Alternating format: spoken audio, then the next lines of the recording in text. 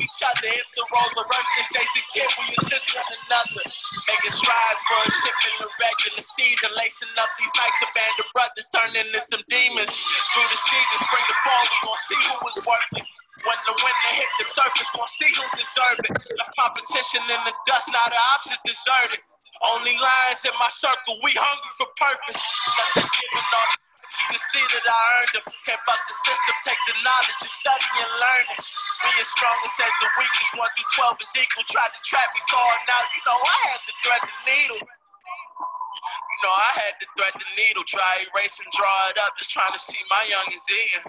Yeah, you know I had to thread the needle, try erase and draw it up, just trying to see my youngins eating.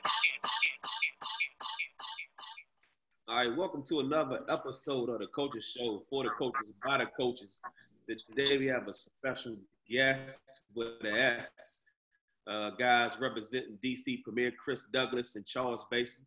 And also we have uh, Sugar Ray, aka February Ray, Raymond Brewer, representing the TTO, and also Oz Gore, representing Team Durant.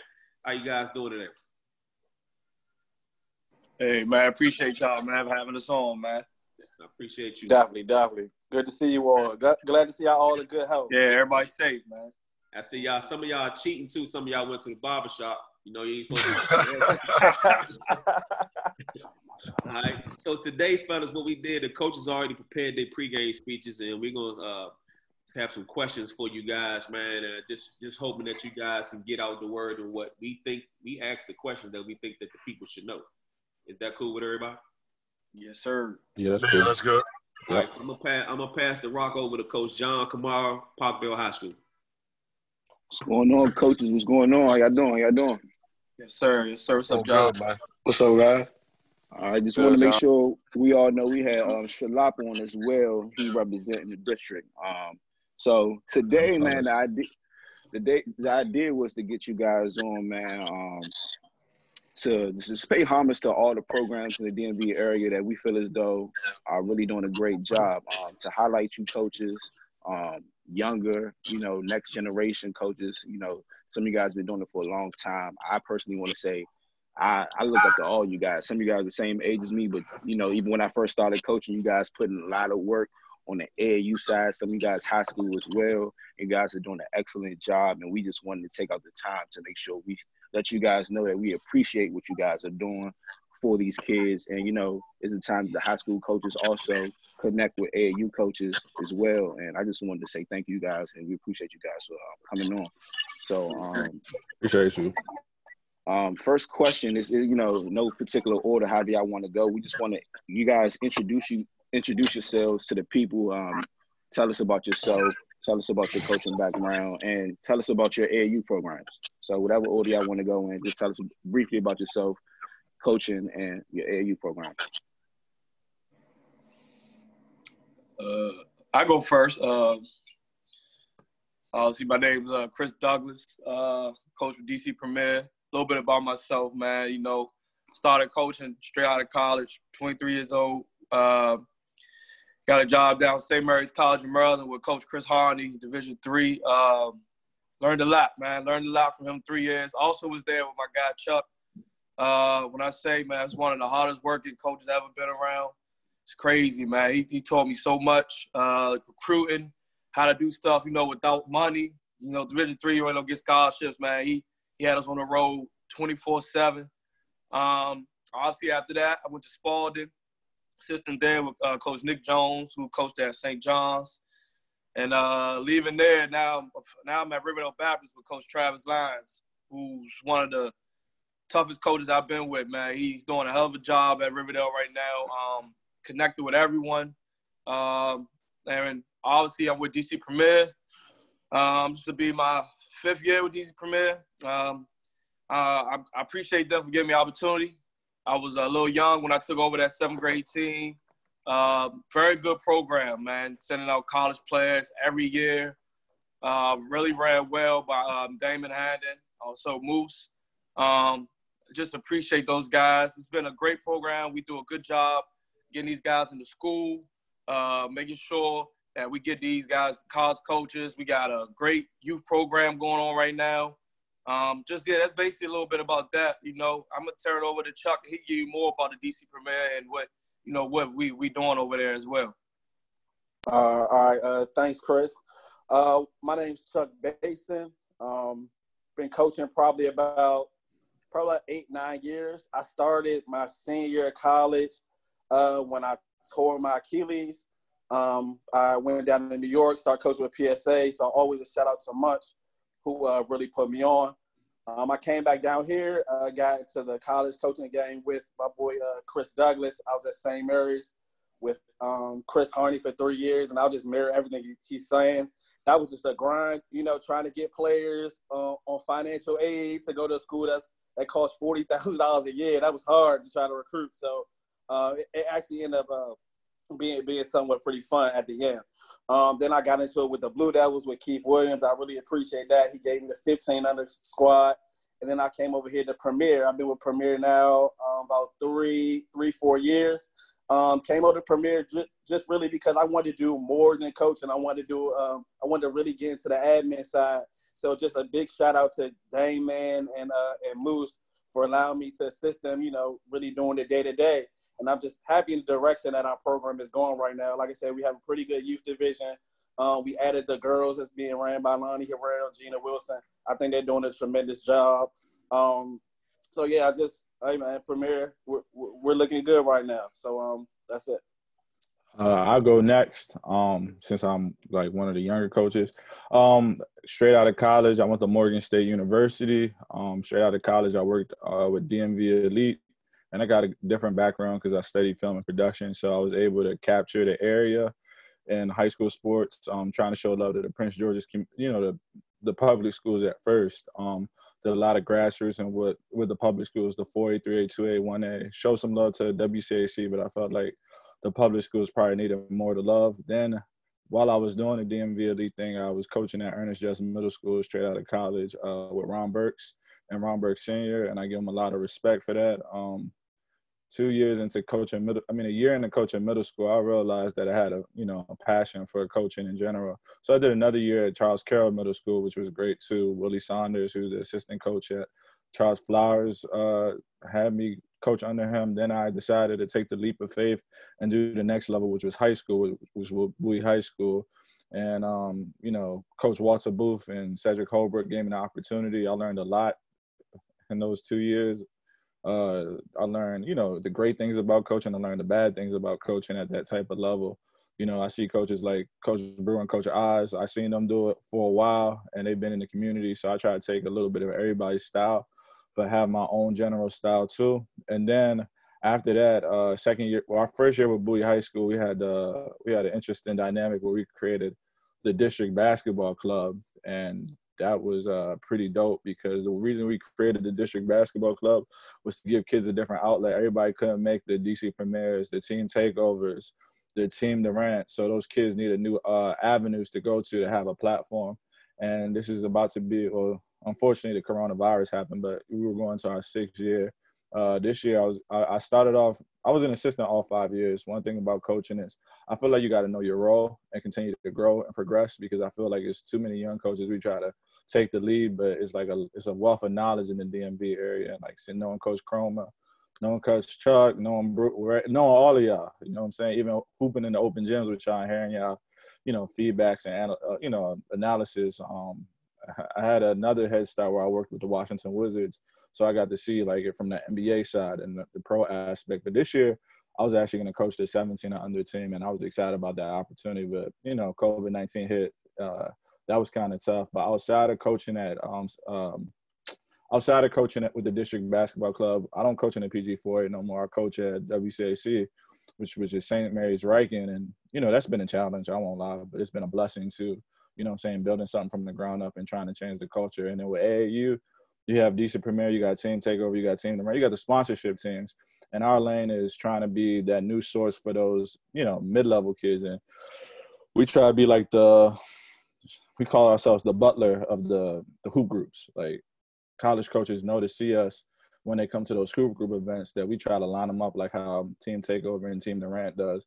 And we've been blessed over the last five years to send over 40 plus kids to college, 20 plus Division One, and we finally had a two A10 school. So we just following the motto. Uh, Cam Brown and Kyle Rose were our two A10 players last year, and out of the six players we graduated last year to go Division One, um, five of them played significant minutes. Three of them start, and one was going to, but he got injured during the year.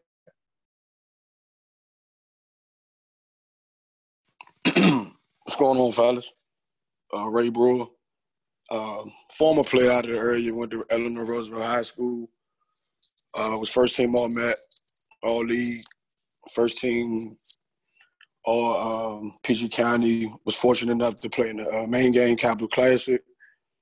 Um, here on this radio, it's a little it's a little touching for me because like a lot of y'all more, I consider you know more than friends. It's kind of like a family thing. Like even just you know looking at Chris Douglas, go back to his time when he was playing with Glenard and I'm playing against his older brother, and I just watch him as a young and just knowing Chuck, uh, Chuck from Premier from PSA College from Scan, just when we was young, really not knowing what was going on, and Coach Oz I mean, like really coaching me. And you know, I could I could vividly remember his first moment. I felt like he got a good chance to coach was when Farello left us and he had to step up and to kind of see him now in a position of running the organization and watching the O after I tore my ACLs, my two ACLs, I came back and I kind of shadow boxed at Bladensburg High School on the coaching level, which people really didn't know.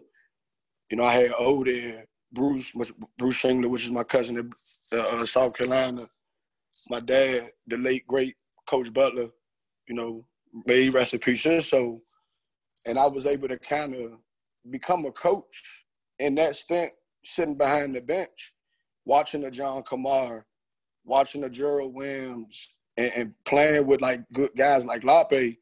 So for me, it's it's it's a beautiful picture right now to be here and, and, you know, I know a lot of people don't know my story.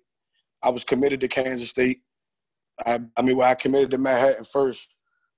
Didn't didn't make it through the clearinghouse. Uh, end up going to prep school. Committed to Kansas State. Tore my ACL. End up going to uh, Miami Dade. After that, come back 100% off my first one. Three months later, I blow my second. I blow the I blow the next one out so it kind of just put me back home. I get back home, and like I said, I came into a, you know, I wanted to, I wanted to stay in the game, and I had so much to give, you know, and, and so, long story short, I, ten years, I've been coaching now for ten years, and again, I started with takeover with with, with Keith Stevens, who had me in the eighth grade at Newport, you know, so my ties run deep there. And then, you know, them ties continue even with Coach Oz to where, you know, I was with Coach Oz from Roosevelt to Newport. I mean, from Roosevelt to Takeover, you know, kind of get the, for, for him to kind of get going. And now I've been, you know, like I said, I've been coaching for 10 years now, um, all with Takeover.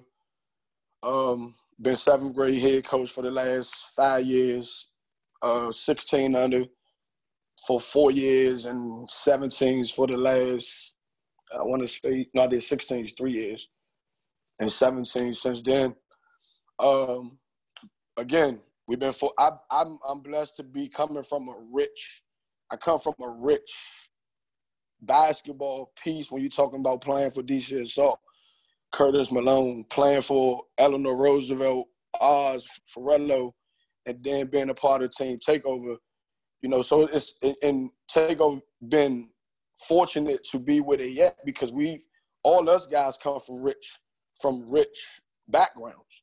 So we was able to establish that program and understand what it took to get to a level of, of people considering us one of the best programs in the in the country. You know what I mean? And and, and I tell people all the time, like I actually thank and happy to see Coach Oz took that step.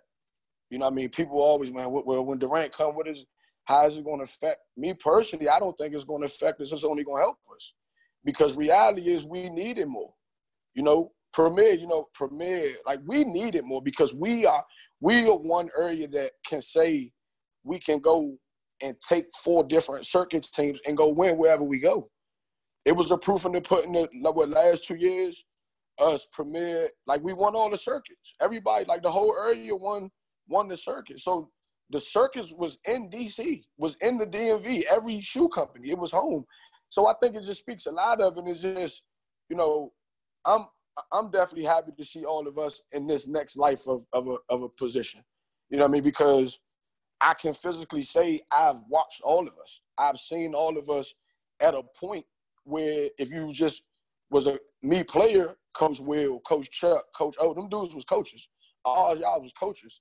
So for me, John, Lape, and all of us, we in y'all shoes when we was players and y'all was coaches. So now we are those guys that's trying to come up the chain and, and, and trying to, you know, one day maybe run an organization and be the directors and whatnot. And it's just, you know, it's to me it's a beautiful thing, you know, to you know to kind of see us here at this. And, and I'm just blessed to be able to share my knowledge and and and continue to learn and just grow, man. And overall for the for the overall programs, I think all of us are doing a great job because people lose the people lose the the the the, the, the common goal. And the common goal of this thing is to help these kids get to college.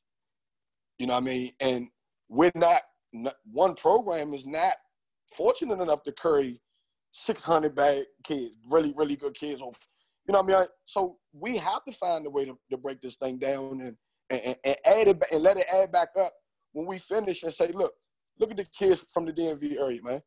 You know what I mean? Like these dudes going high major, these dudes going mid major, they going to college, and and they able to and they able to they able to represent the area in the right way because it's it's right people like us, guys and the older people that's doing it the right way. Now I think it fell off some, but here we are. Here this group, here this generation of coaches and young coaches, we know what it takes. You know what I mean? We know what it we know where it come from. And again, man, I'm just I'm just blessed to be, you know, on here to, to, to share, to help help help share. Man, Ray, that was that was great, man. I mean, it, it's funny. It did bring back some memories, man. Um, Coach Oz Bangura, um, director of Team Durant.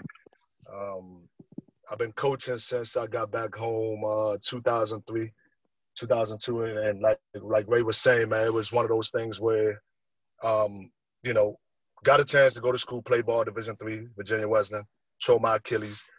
Um, but then coming back home, it was just like, how can I give back um, to these kids? What can I do? And uh, my brother, cousins, everybody had went through Roosevelt, and so got the opportunity with Glenn, build that relationship, and then was able to kind of help out, you know, from Ray, Lape, Brendan, B Mac, um, you name it, man. So these guys kind of embraced me, young guy coming in, um, but they was hungry. So I started in Roosevelt 2003, um, went through that, and then 2008 end up um, going with Glenn at uh, Paul VI. Went to Paul VI couple years, won some uh, championships there. Was able to build that program up. Um, and I think one thing through that transition, like Ray was saying, man, I think it was for us kind of giving back, man. I think – we're in this in this game to give back. We've seen guys come before us um, lead this game, so it's only right we we give back. We go and show love, show support, and that's what these guys were doing. So after that, um, I got would take over, um, and you know with Keith and guys that were there, Kenny Johnson, guys that I watched that have done it for a long time. Just kind of you know sat back, watch, observe, try to get better. You know, better my craft um, got involved program. You know, keepers doing a phenomenal job there. Just more guys that wanted that that was hungry, obviously. So after that point, uh, what you know, with Paul VI, um, end up leaving actually because I had an opportunity to go overseas uh, to coach Libya national team in 2009 for like a, a five month staying for the African national um, for the Af- African national championships. Um, went there with Kevin Nickelberry, who was at Howard. He's at um, Kevin is at LSU right now. So um, I thought it was an opportunity. I mean, I left my job. I walked out my job, said, you know what, doing this six months just to get that experience would take me further on because this is what I want to kind of do. So I was able to do that. I was able to travel to Libya, Morocco, Tunisia, Turkey, um, watch pro. My brother was on that team. Lamar Butler was on that team. So they had a couple pro guys playing against guys like Tony Skinn, the Nigerian team. John Lucas actually coached the Nigerian team. Then I picked his brain. And I'll tell y'all something, fellas. One thing he told me, I caught him in the lobby one day, man. I said, uh, coach, man, you've been doing this for a while, man. What is one advice you'll give a young coach? And what he told me was, he said, never be their friend. And I was young and I didn't know what he was talking about. He was like, man, coach, listen. He said, you know, you can support them. You know, he said, but the moment they think you guys are equal, they'll walk all over you. They'll never respect you. Don't be their friend. Tell them what. Don't tell them what they want to hear. Tell them what they need to hear. So I took that with me, and it just kind of resonated. So we did that. Fell short of the goal we had, and then um, at one point when I got back, wanted to go back to Paul the Six, but then Nickelberry got the job at uh got the job at Howard. He was like, Man, listen, Oz, you know, you got you understand the playbook, you know what we was doing. Do you want to come to Howard? I'm just like, damn, like, you know, it was kind of surprising, but I was like, you know what, I'll do it. So I went on volunteer basis. I got my nine to five job back. Uh, but I did a volunteer, didn't get paid, didn't do anything. I just wanted to learn. I wanted to soak the knowledge up. And Nick, you know, we are folks that know Nickelberry. I mean, great guy. We know he has his ways. Um, but one thing about him, hell of a recruiter, you know, can recruit. So I wanted to just kind of pick his brain, be around. So I did that for two years. Me, Travis Lyons was on our staff. Keith Couture, um, and uh, Antoine Gaither was on that staff as well. So great guys, great minds, guys that played. So again, picking picking guys' brains um, to just get better, just soak up all this knowledge. So after the two years, man, one thing changed my mind for the college level, man, was we sat there one day. I think we went to play Purdue, man. Obviously, paid game. They gave us about eighty thousand. You know, got the brakes beat out of us. But um, what changed my mind there, one of the kids we recruited didn't play well, and I remember going into the office, and um, coach mentioned, "Hey, we got to get another kid." So pretty much we was over recruiting this kid. So I felt some type of way about that because I'm like, man, you go sit in the living room, you talk, you build relationships, and then in a in a in a blink of an eye, somebody else is coming to take their spot. How do you go and explain this to the parents? So that kind of rubbed me wrong. And I remember having a conversation with with Travis about this, man. I was just like, man, you know what, man, I don't know if I can do this. Cause for me, it's all about, you know, it's about relationships, especially in this business, man. Like, if I could tell y'all anything, about relationships, man. We the circle is too small. We know each other, and and one thing I would say, and, and Ray kind of hit on this. Every last one of you guys that are on here, I've watched, I've seen y'all. You know, we've talked. I've gotten to know some guys better, but it's all respect for all y'all and the programs that you guys are building. Um, this area is absolutely rich of talent. We all just got to do what we can to help each other. Obviously, it's competition. Going to compete. You know what I'm saying? But the relationships is what's important because that's how you're going to take the next step, in my opinion. So, long story short, didn't like I said, I'm coming back. So, I had a conversation with Glenn, came back Paul VI, and I think we won in 2014. Um, had a hell of a team. So, took that route, took that route. And, and at that point, I've moved around, fellas. I was just like, man, you know what? I want to do something different. I want to I want to kind of get my own team. Spoke to Keith about that and gave me the opportunity. Had a second team, but I still felt like there was more I needed to do. So you know, just made a decision that I wanted to just step away from high school for a year and then take an opportunity with Durant. So that's kind of how this thing came about, fellas. So I stepped away and kind of leap of faith, man. Just see that journey, and here we are. Obviously, Wayne Pratt, who's Kevin's dad, gave me the opportunity. Um, actually, Kingston Price introduced me to him. Um, and then Roger Gerby, obviously, and then the rest pretty much was history, man. Just kind of took all what I learned along the way and just kind of implemented what worked, what didn't work, and I still spoke to guys I had relationship with, had questions, and one thing Ray did hit on it is, man, like a lot of people look at it like, man, you know, I don't know if I do that. Like we all can do it, fellas. Like we all have our individual path, but you, you guys, if this is what you want to do, you got to jump out there. If it's something you really, really want to do, because at the end of the day, we have jobs, we got things we want to do, but this is the passion. So that's what I did. I just jumped out on faith, man. This this will be year four for us.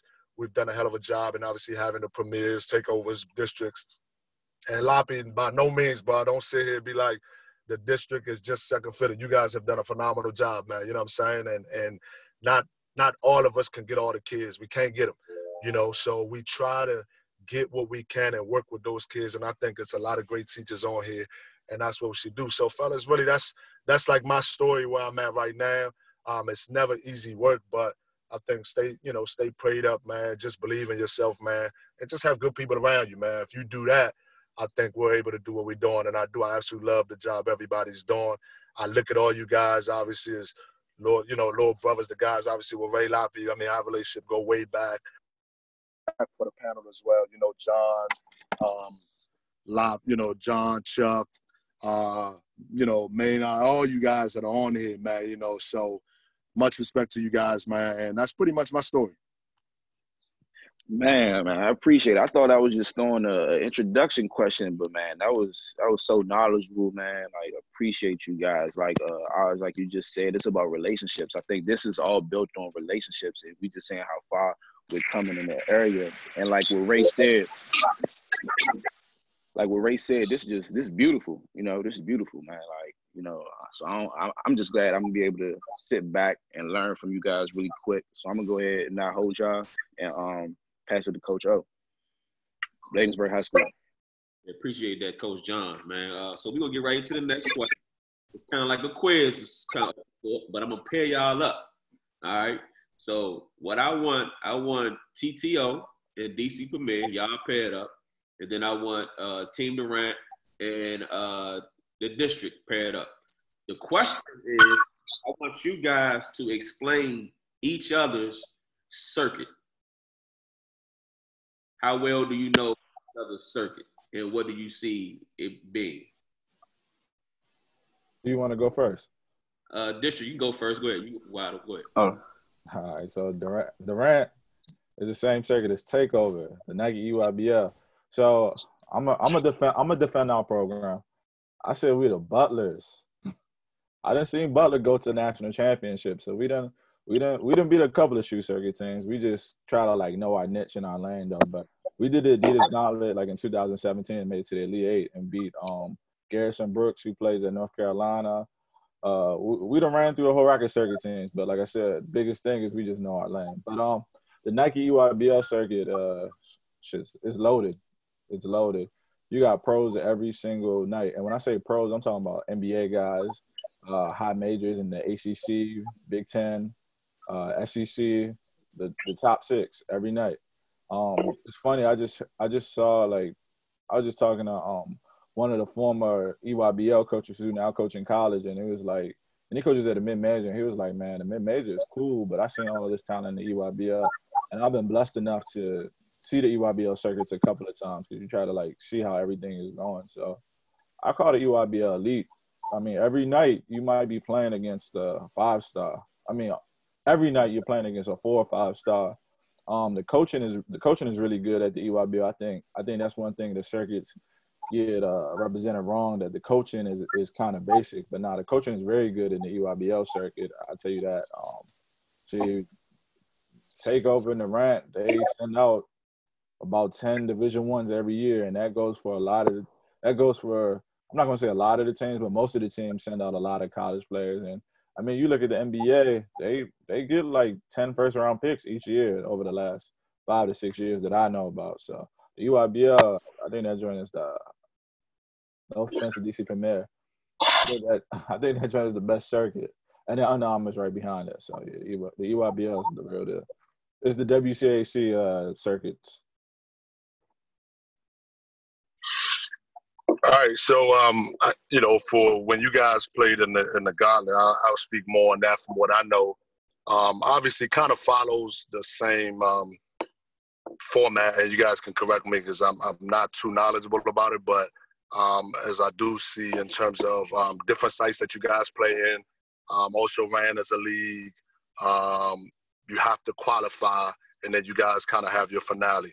Uh, one thing I would say and I think it's kind of what we're talking about. Um, I agree. I think it's kind of easy for us to say EYBL. I do. I think the EYBL is it is on a on another level, but never discrediting other circuits as well because not every program across the country can play in the EYBL. I mean, they might not want to play in the EYBL. You know what I'm saying? And I think if you're able to be sponsored, no matter what circuit it is, I mean, it's all good because again, what's the end goal is to get these kids in college. So from the gauntlet, I mean, it's it's it's the same. I mean, I think formats. I mean, Nike does it with Adidas and UA. They try to figure out what we all can do, but they try to mirror each other. Um, EYBL tend to have more talent, um, but but but talent is talent. I believe if you can play, um, then obviously you'll you'll be seen. But from what I know, I think you know they follow the same format in terms of different cities they go and play in um, records are you know records are kept and then it's a finale where you decide who the best team is but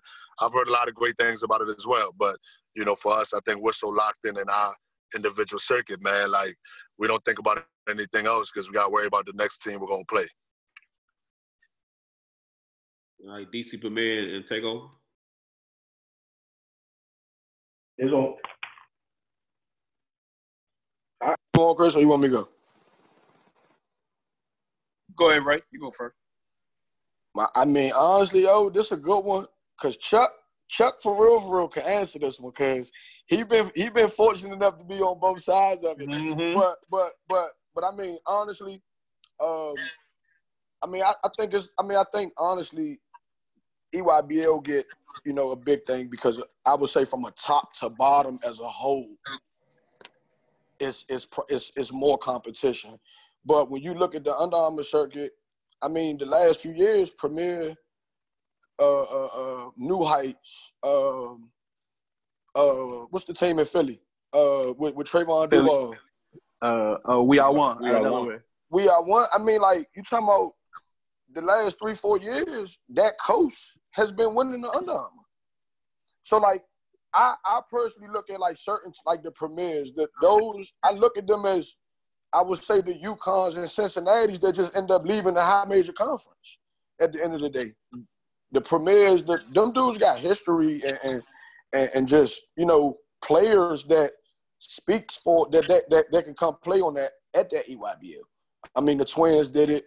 Jay did it. A lot of them dudes that came over and played with Melo and, and was pretty much the better players at them sessions when they when they came over there. So I just think from a top to bottom, you know, the EYBL is really, really, really good.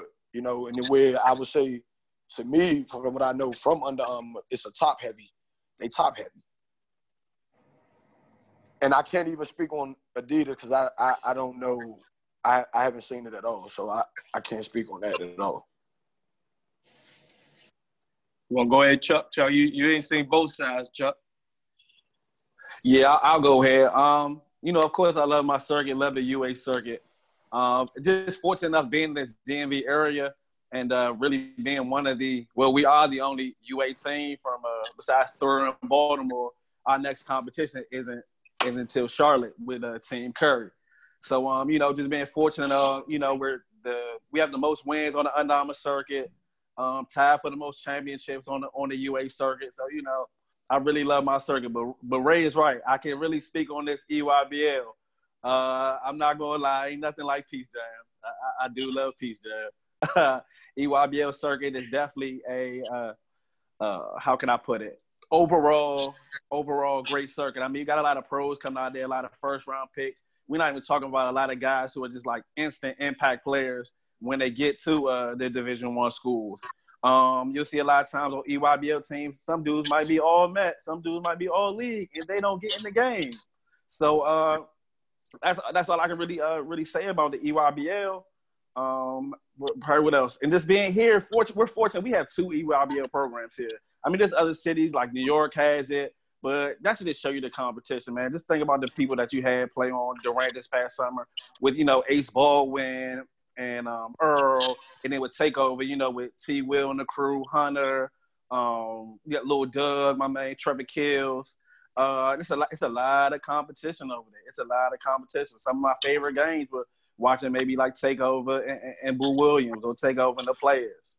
Um, and I, like I'm Durant is new. They just got the 17s, but I can't wait can't wait to see what rivalries they build up because that's that program is coming too. They they coming. They they coming. They they here. So um so that's really all I got to say about the EYBL. Right, appreciate that, man. That's some good insight. I knew I knew it'd be one of those questions, but one thing I do know about you all that's on here, y'all y'all know what's around you. So that's the biggest thing. And knowing that there's competition, you know, and we talked about this the other day, matter of fact, when we talked about compassion being and being competitive at the same time. You can be competitive and still have love and compassion for one another. You know, because we all come we all come from the same the same area, man. We all know each other, and it's a small world, like I said earlier. So I thank y'all for that insight. So I'm gonna pass you over to Coach Des Wade over at Blake High School. What's going on, fellas? Appreciate you guys being on the show. Um, anyone can answer this question, and I know this is a combo that can go on all day, but uh, just kind of tone it down just a little bit. Um, but what is the biggest misconception of AAU coaches and your program in general? Uh, I'll just answer this first. I, I think the biggest misconception with AAU is that people think that we're not here for the kids, like we don't care. Like AAU gets the bad rap, like oh, we just we'll get you for one tournament, we'll go get another kid for another tournament. I've seen take over. I've seen Durant, and what I tried to mirror because I wasn't this dude to begin. I want a new player every weekend. Everybody knows me. When I was young, I was a little hot headed, but I watched Oz. Like Oz really you know, he added pieces, but he kept his core. I, I watched I watched Takeover. They kept their core, and I always appreciated that. You know, like they really cared about the kid. Um, even when they go to when they go to go off to college, how they come back. You know, we're fortunate enough we're having that tour premiere, but to see that when you seen Durant or see that when you seen Takeover, it just shows that that level of compassion y'all were just talking about. Like we really do care about the kids. So that's it. I, I, I'll say I'll go next, man. I think the biggest conception, like Chuck just kind of hit on the nail, man. Uh, but I'll add on to that. I think is it's no coaching that goes on at AAU. You know what I'm saying? We just roll the ball out and the kids play.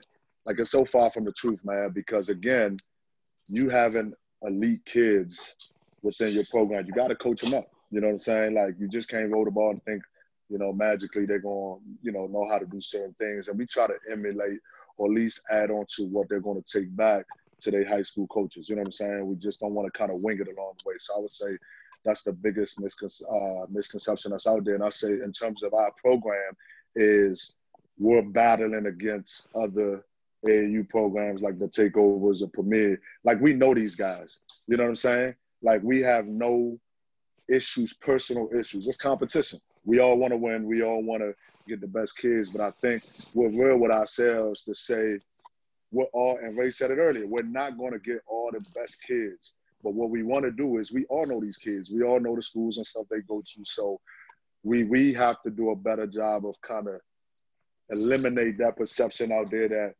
we're we're battling like, oh, we hate each other. We want to go outside and fight. Nah, it ain't none of that, man. It's it's all love, it's passion.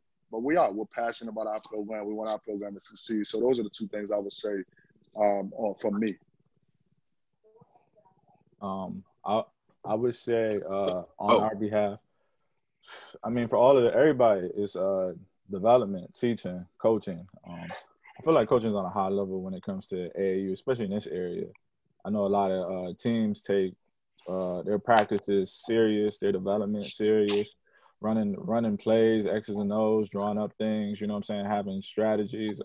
I know uh, it's been a weird time since we don't have AAU because of this COVID nineteen, but a lot of it is like extended families. Like DC Premier, I've been fortunate enough to coach kids uh, who've been on the DC Premier program. That's all they rave about is the AAU and the family aspects. I've been fortunate enough to coach kids on the Takeover program, and all they rave rave about is the family aspects and like TTO. Like they take that with pride. Same thing with Durant.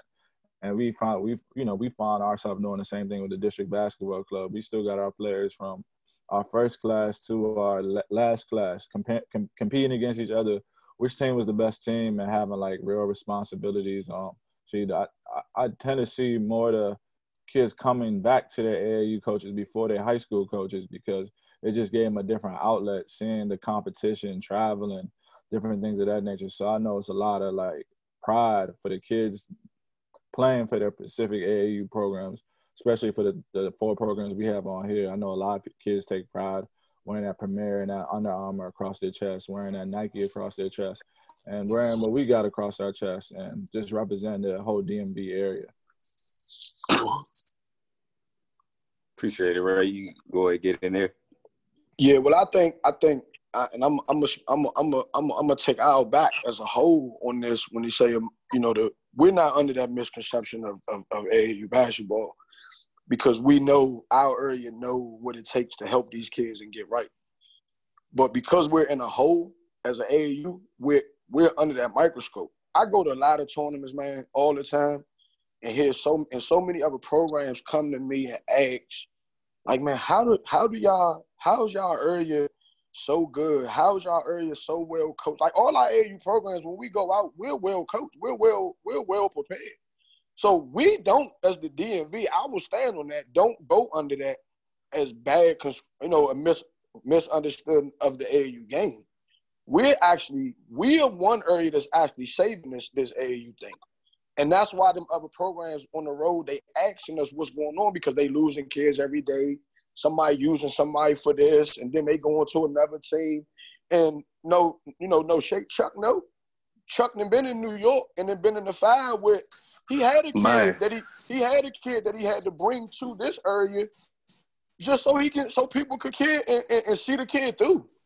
You know what I mean? Just see the kid through because it was people up where he was at was just taking the kid and doing what they wanted to him. You know what I mean? Then he came here and the kid found a home, found an AU program, he found a high school, and he and he went on with his life. You know what I mean? So for that piece, I'm gonna stand on it for us. We we not under that. And we need to continue to keep doing what we doing, fellas.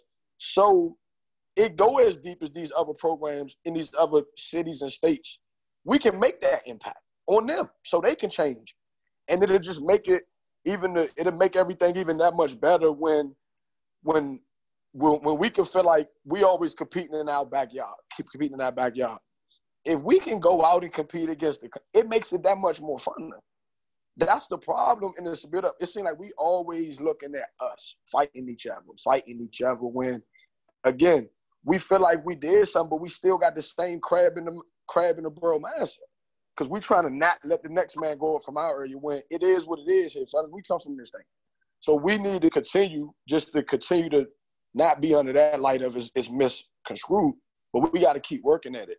And far as for us, you know, I think, you know, being on it and Oz done been there, you know, at one point it was we only send people to one school.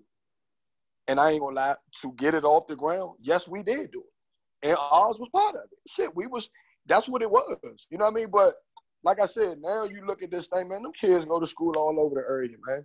It ain't no just specific one here, one there. When you look, man, you talking about, like I said, just in the WC alone, it's it's four to five kids or three that play with each other on the AAU teams. So this thing is really is is is really spread it out all over. You know what I mean? And not, and like you know, and that's a misconception that we get. And you know, like I said early on when PVI first came into WCAC, you I stand on it. Yeah, had to, had to do something to get it going. You know, and everybody got their different strategies of a way to get things going. You know what I mean? But if it's in a respectable, mannerable way, man, people respect that. You know, so that's that's I think that's a big big piece on us as far as what people say. We only if you go there, you're gonna go to one certain school. You know what I mean? And this and like I say, look at the you know, look at the numbers. Look, you know, DeMatha had four. Gonzaga was coming out with they started five and four days was at Gonzaga. You know what I mean? Mm-hmm. Reality is it's the fits. Man, half of these kids can't even play for Glenn. Oz know that. And it's and it's not a knock on the kid, but it's just the same way when you go on the car. It's the same way when we doing AAU. Everybody can't play for Oz. Everybody can't play for Chris. Everybody can't. It ain't. It don't mean that we're bad coaches or the kid not that good. It's it's it's about finding what's the right what's the right what's right for you. And when it's right for you, then you go succeed, and that coach gonna go push you, and you go to college, and everybody and everybody win, and we back in the cycle all over again. Good Man, I just Chris. yeah, I just want to piggyback on what everybody's saying, man. Like my biggest thing, man, this thing, AU, this thing, it's it's it's it's, it's more than basketball, man. When I got players texting me like, "Coach, I love you, man. I, we gonna get through this COVID nineteen through like that mean a lot to a coach, man. So all that, you know, we don't care about play, man. That ain't true. And to pick back what Ray said, man, we go out of town and Ray know this, man. Coach with Coach Maynard has been the biggest. That's been the biggest blessing of my life right there, man. Everybody know Coach Maynard I've been doing this for Chuck know been doing this for a long time, man. Just getting knowledge from this guy. We go out of town, man. They go up to Coach Maynard say, man, man, I don't know how y'all doing at DMV, man. Y'all got them boys playing hard. Co- I can't even talk to my players, man. So like what Ray said, man, we- man, they respect this area, man. When we go out of town, man, they they, they man, y'all they, they well, y'all running y'all play, y'all doing this. So man, like that coaching thing, man, just being and then to have been uh blessed staff with John and Daz with me now, man, just coaching plays a big part of this thing, man. So, you know, everybody had good points, man. I just want to put that it's more than basketball, this AAU thing, man. It's a family, man. No, and I think that's that's huge. I mean, just listening to all you guys, it comes back to like I said, building those relationships and, and then maintaining those relationships once they leave your programs. And, and I, I see you guys from some closer, but uh, from afar as well. You guys are doing an excellent job, man. I appreciate you guys. Um, I'm gonna pass it over to Coach Will. What's up, fellas? Um, good, man. It's, it's one thing.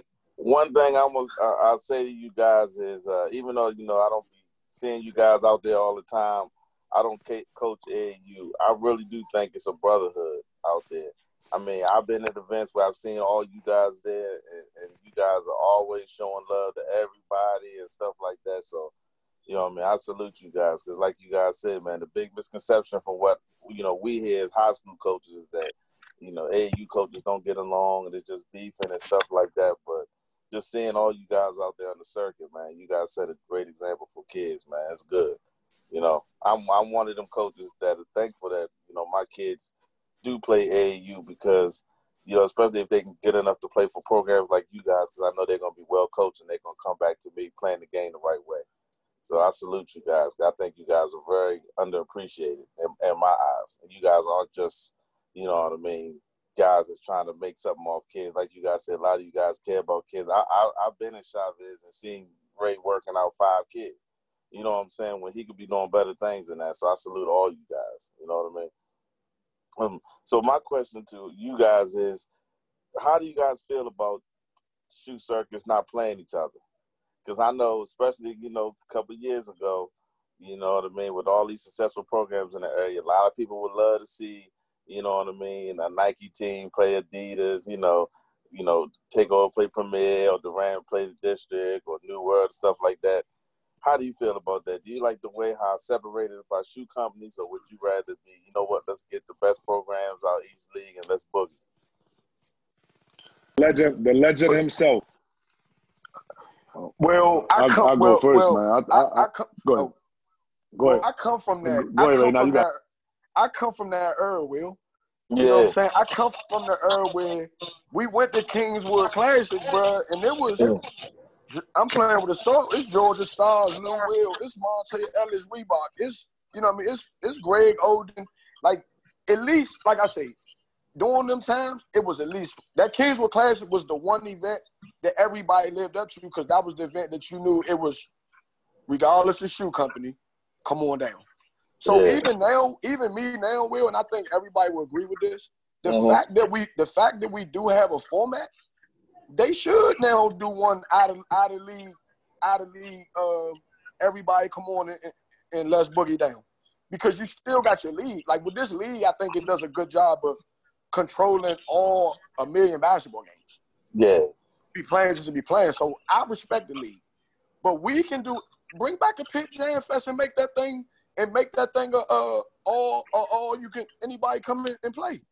You know, Yeah. all you I believe all we need is one. You know what I mean? And, and that'll bring that that little bit more grit back to look, man. We get the touch, comp the magic. You know what I'm saying? We get the touch, uh, uh, uh, uh rent. You know what I mean? I whoever. You know what I mean? You just get the like you get that feel to be able to be in there like a, a mini tournament. You know what I mean? You get the rumble. So I, I, I, the fact that I come from that earth, I truly would love to see it come back. And with the format that they do have, I think outside of that format, they should all come and say, look, let's make one event, a live event, and all shoe companies play. Yeah, because it's about the kids. That's what they Go ahead, Alex. what they want. Yeah, yeah, yeah, coach. Nah, and, and I'll piggyback right off. Wayne- I mean, of uh, Ray, because that's that's how it is. You talking about guys just all thinking alike, man. About this, how it is. I mean, Will, you know, Chuck, you know, all you guys know on here, man. That's that's that's how we came up. Like you play, you wanted to play against the best, and, and I think it does need to happen. I think, if anything, you look at what's happening now. If even if they do it after P, uh, Peach Jam or the major event, they had one weekend. Like Ray said, just throw it out there, let everybody hoop. And I don't really think it's us coaches. I think we want it. You know what I'm saying? I think we want it, but you know, it's higher ups that are higher than us that ultimately got to make that. But I think, but I think, right? I, I, I think, I think, I think at the end of the day, we were all one, and I think at some point we probably will get together and say, man, let's let's just do something because it is. I mean, for the competitive standpoint of it, man, we got to take it back to how it used to be. So I agree. I, I would love to do it. You know what I'm saying?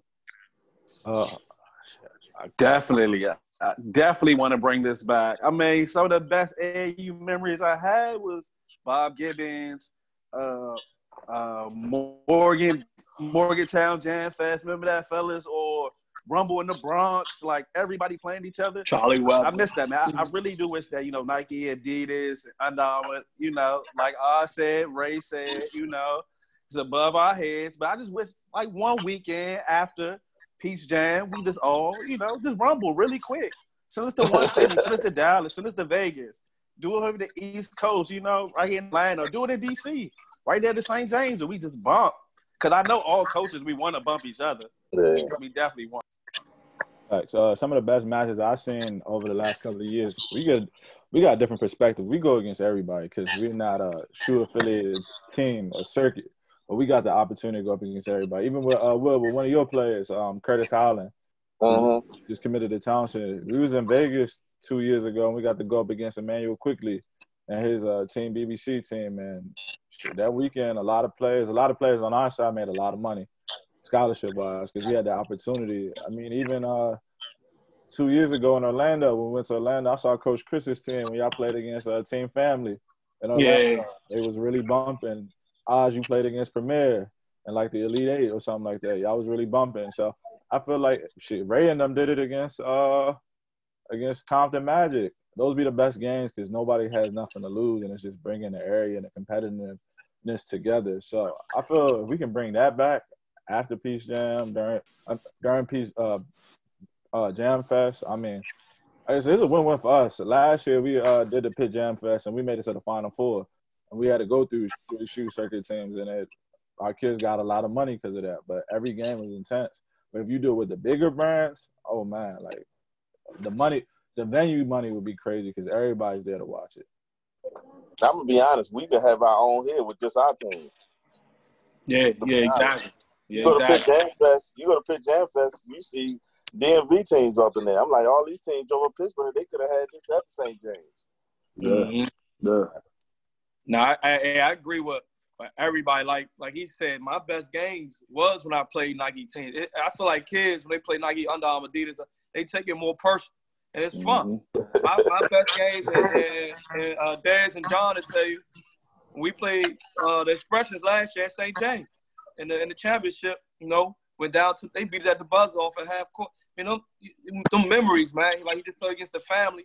We went to four overtime against the family, man. That, that's that's memories, man. So yeah, I agree, man. We we can do it. Let's, let's do it, man. Hey, hey, Chris, that was a hell of a game, man. I was front row that one. I was like, man, this ain't gonna ever end. I don't want to damn. You know what I'm saying? Oh, hey, it was, it was tough, one, man. Yeah, hell of a game. Well, I appreciate you guys answering the question, man, and I'm gonna pass it on to the next coach. Hey, hey, Ray, they worked y'all in Vegas though. I was at that game. Compton Magic and uh, Takeover. Oh my god. Oh my god. Hey, hey, hey! I wish we wouldn't have took it. We it was three. Dino wasn't gonna let you win. He wasn't gonna let you win, man. And like, and like, and, and just to speak a little bit back on that on that one time event, I wouldn't. I would say not do it at the Peach Jam and all them because all them kids die out after that.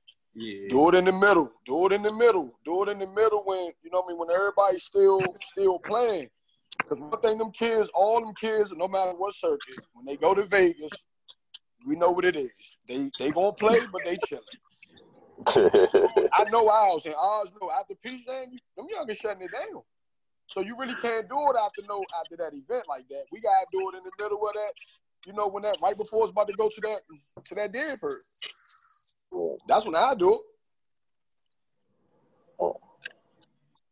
I yeah. appreciate that. I'm sorry. What's up, what's, what's up fellas? Uh, uh, Coach Desmond Small, Washington Venice.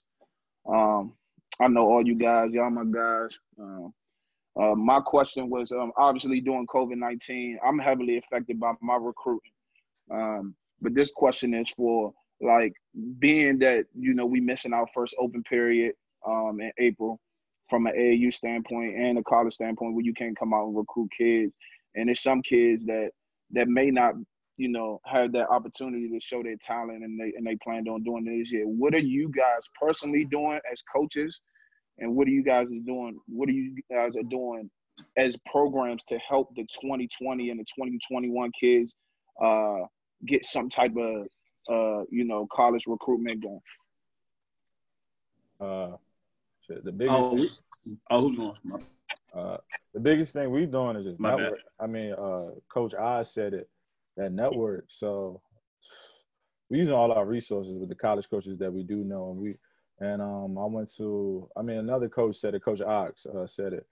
When we do, when we when we reach out to college coaches, we try to reach out to levels that they can really play at and be successful, and the styles too. So we're not reaching out to like the University of Maryland's or anything like that because we know most of our kids ain't on that level. So we try to, for us, we break down every film that we have for our 2021 team, and even we did it on our IG. Like we tell kids to Sam film who was going to try out for the team, and if we like him, we try to just promote those kids. You know what I'm saying to certain schools. So. But when it comes to the Division three level, to the the NIA level, to Division two, Division one, we try to put them in a certain you know atmosphere and see what coaches like. So if we got a six four wing and he can really score the ball, we try to look at programs that fit his style. We don't try to like sell them too high. So for each player, we have been reaching out to like six to eight college coaches.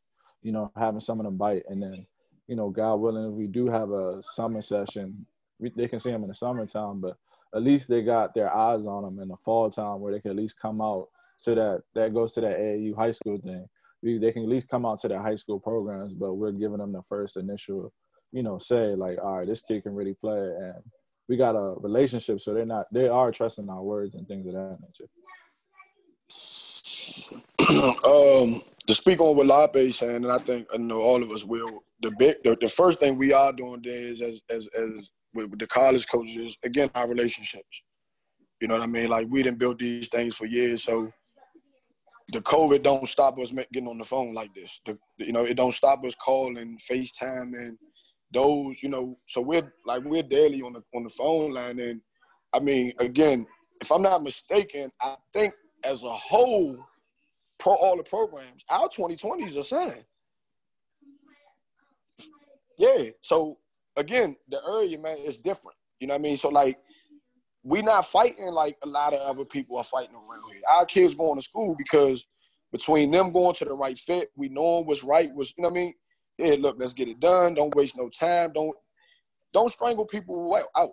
You know what I mean? Because here's a pro- somebody might have strangled out, and now look what happens if this if this this situation happening.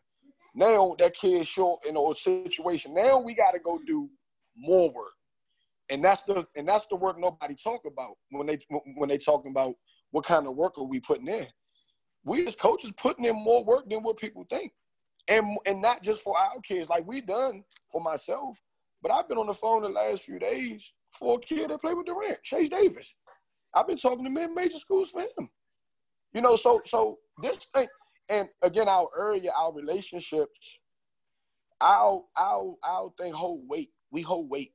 So those coaches that's on them levels, they respect us like we on their level, because we're dealing with the better. We're dealing with the best talent. So and they and they respect what we are telling them and who the and they know what they're getting because of the rich tradition that they coming from. So again, you know, it's constantly using your your relationships, talking every day, all day. Because now all the guys that we know, they was where we was at before they even got there. So the relationship started there. You know what I mean? And as far as the kids, as far as the kids, you know what I mean? You just it's again talking to them, making sure they're in the gym, making sure they getting road work. For the ones that's, you know, home, you know, just constantly I, and I, I told somebody I thought this for the kids. I thought this was one of the best things that could happen because I felt like they missing the foundation of how to go do it themselves, of how to go be self motivated, of how to go figure out how to go pick up the deck of cards and flip it. Keep talking about I need the weight room. No, you don't.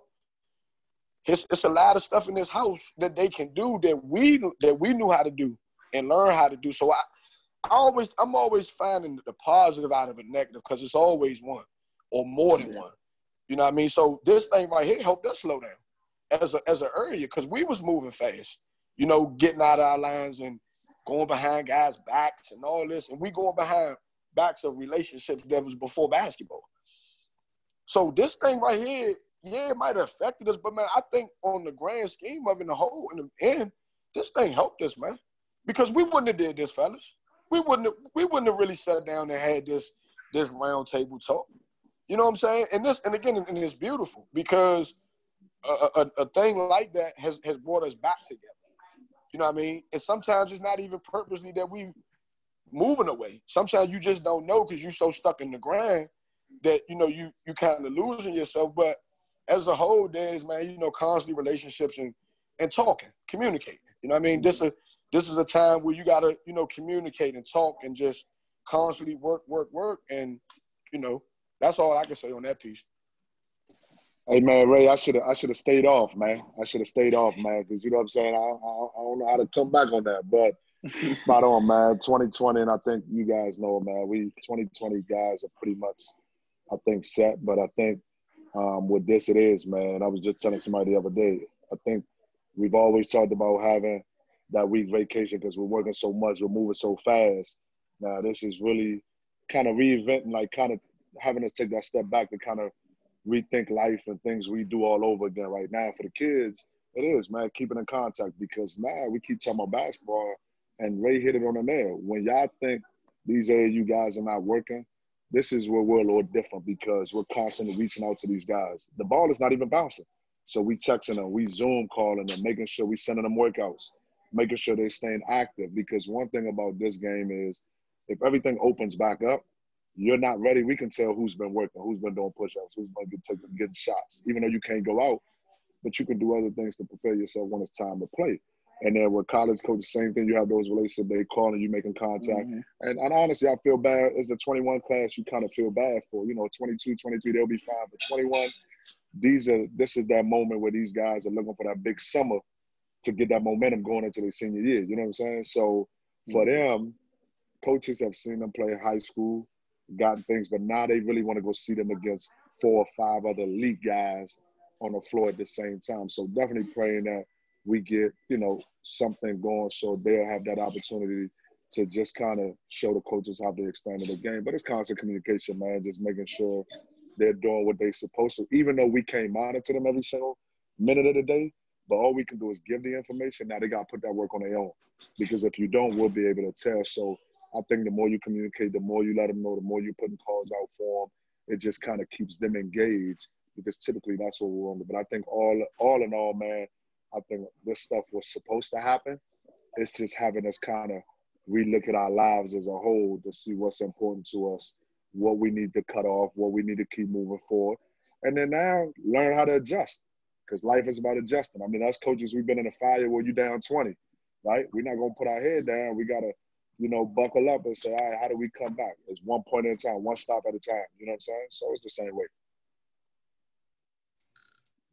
Uh, yeah, it's the piggyback on you guys. Um, right now we're really just burning up the phones, man, trying to call as many coaches as we can. Like like uh, Oz and Ray said, our 2020s are, are mostly done. I think we might have one more to uh, really sign. Um, I know just going through the recruitment with like a, a Darius Miles, for example, like he didn't have a chance to really go out to the to the school.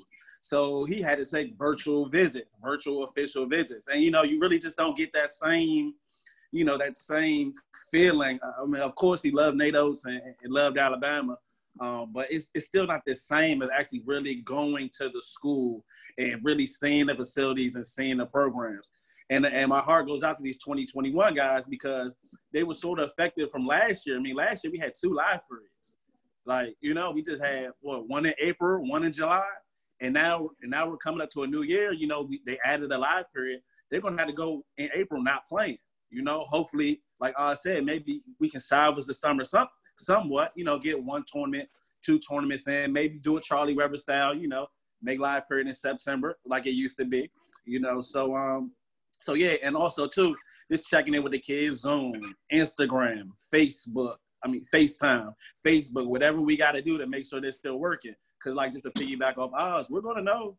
We're gonna know if you are working. We, we coaches are working. We're, we're always finding new workouts. Always like like Ray said, the cards, man. Like do the push-ups, 52 push-ups, you know, things of that nature. You can still get that working without physically going to the gym.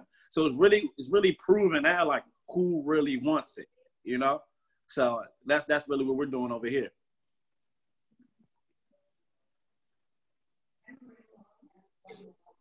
Uh, yeah, as far as uh, you know, I mostly work with the 2022s, but uh, as my guys, man, we all in the group chat. I got all my guys. We all in the Nike app together, running app. So we we we challenge each other right see who got most the more most miles in one month right now. So like Chuck said, man, we just I'm telling y'all just keep working. We always be constantly talking in a group chat. Uh, me and Chuck constantly sending these videos out to colleges and, and, coaches, just trying to get these kids looked at as far as you know as like they can. But like you said, we know who's working, man. So you know we, we we'll see. You know when we salvage this thing, we're gonna get through it. Like I tell the players, man, just keep the faith, man. Pray, pray, pray is pray is very powerful, man. So you know we we working though, man. So that's that's about it, Des.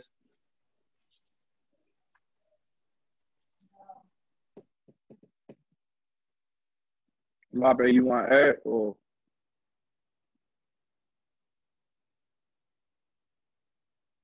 Uh, Hey, hey, hey, hey, Des, I'm sorry. yeah, go ahead. Uh, Yeah. Hey, Des, one thing I do want to say, and that's for all of us, man. I know y'all know how important it is. One thing to keep in mind is let's all do it. And, and as we, we, we learn different things, I, I love sharing stuff. I would say let's make sure we watching our players' social media, man, because, you know, these college coaches got nothing but time right now. And we, we got these kids liking and tweeting and stuff that's irrelevant. Y'all know what it is already. So, you know, if, if we haven't been doing it, let's all do it. And that's with the high school coaches as well, man. It's just something that we know can get a kid scratched off a list real fast. And when kids are bored, they get their hands involved in, in crazy things. yeah. I'm, Uh, gonna touch on. I'm gonna touch on that. I'm gonna touch on just my my process and what I'm doing as as an assistant coach um, on that end, so other guys can kind of get my perspective on it. But uh, go ahead, Labe. Nah, I mean everything they said was pretty much it. Only other thing I probably we've probably done differently. I know I have um with my groups or the kids, you know, our kids. Um, I try to send them film of like old school ball, like back in the day, like in the late '90s, uh, 2000s, 2020. Because uh, I mean, I, y- y'all have the social media. Y'all, y'all know Quinn had that IG live. Even Ray got called out, and you know what I'm saying. And, and everybody had to like put out their resumes and things of that nature. And that's one thing the kids are missing is they don't they're not a lot of them ain't students of the game. You know what I'm saying? Um, they like to live live by the moment. So a lot of things that you know we're trying to do, try to send them like from our DMV area, like players from back in the day, but also like clips that we like grew up on. I remember uh recently sent them the uh, Sebastian Telfair clip through the fire. We all watched through the fire, and he got that ankle injury against Darius Washington.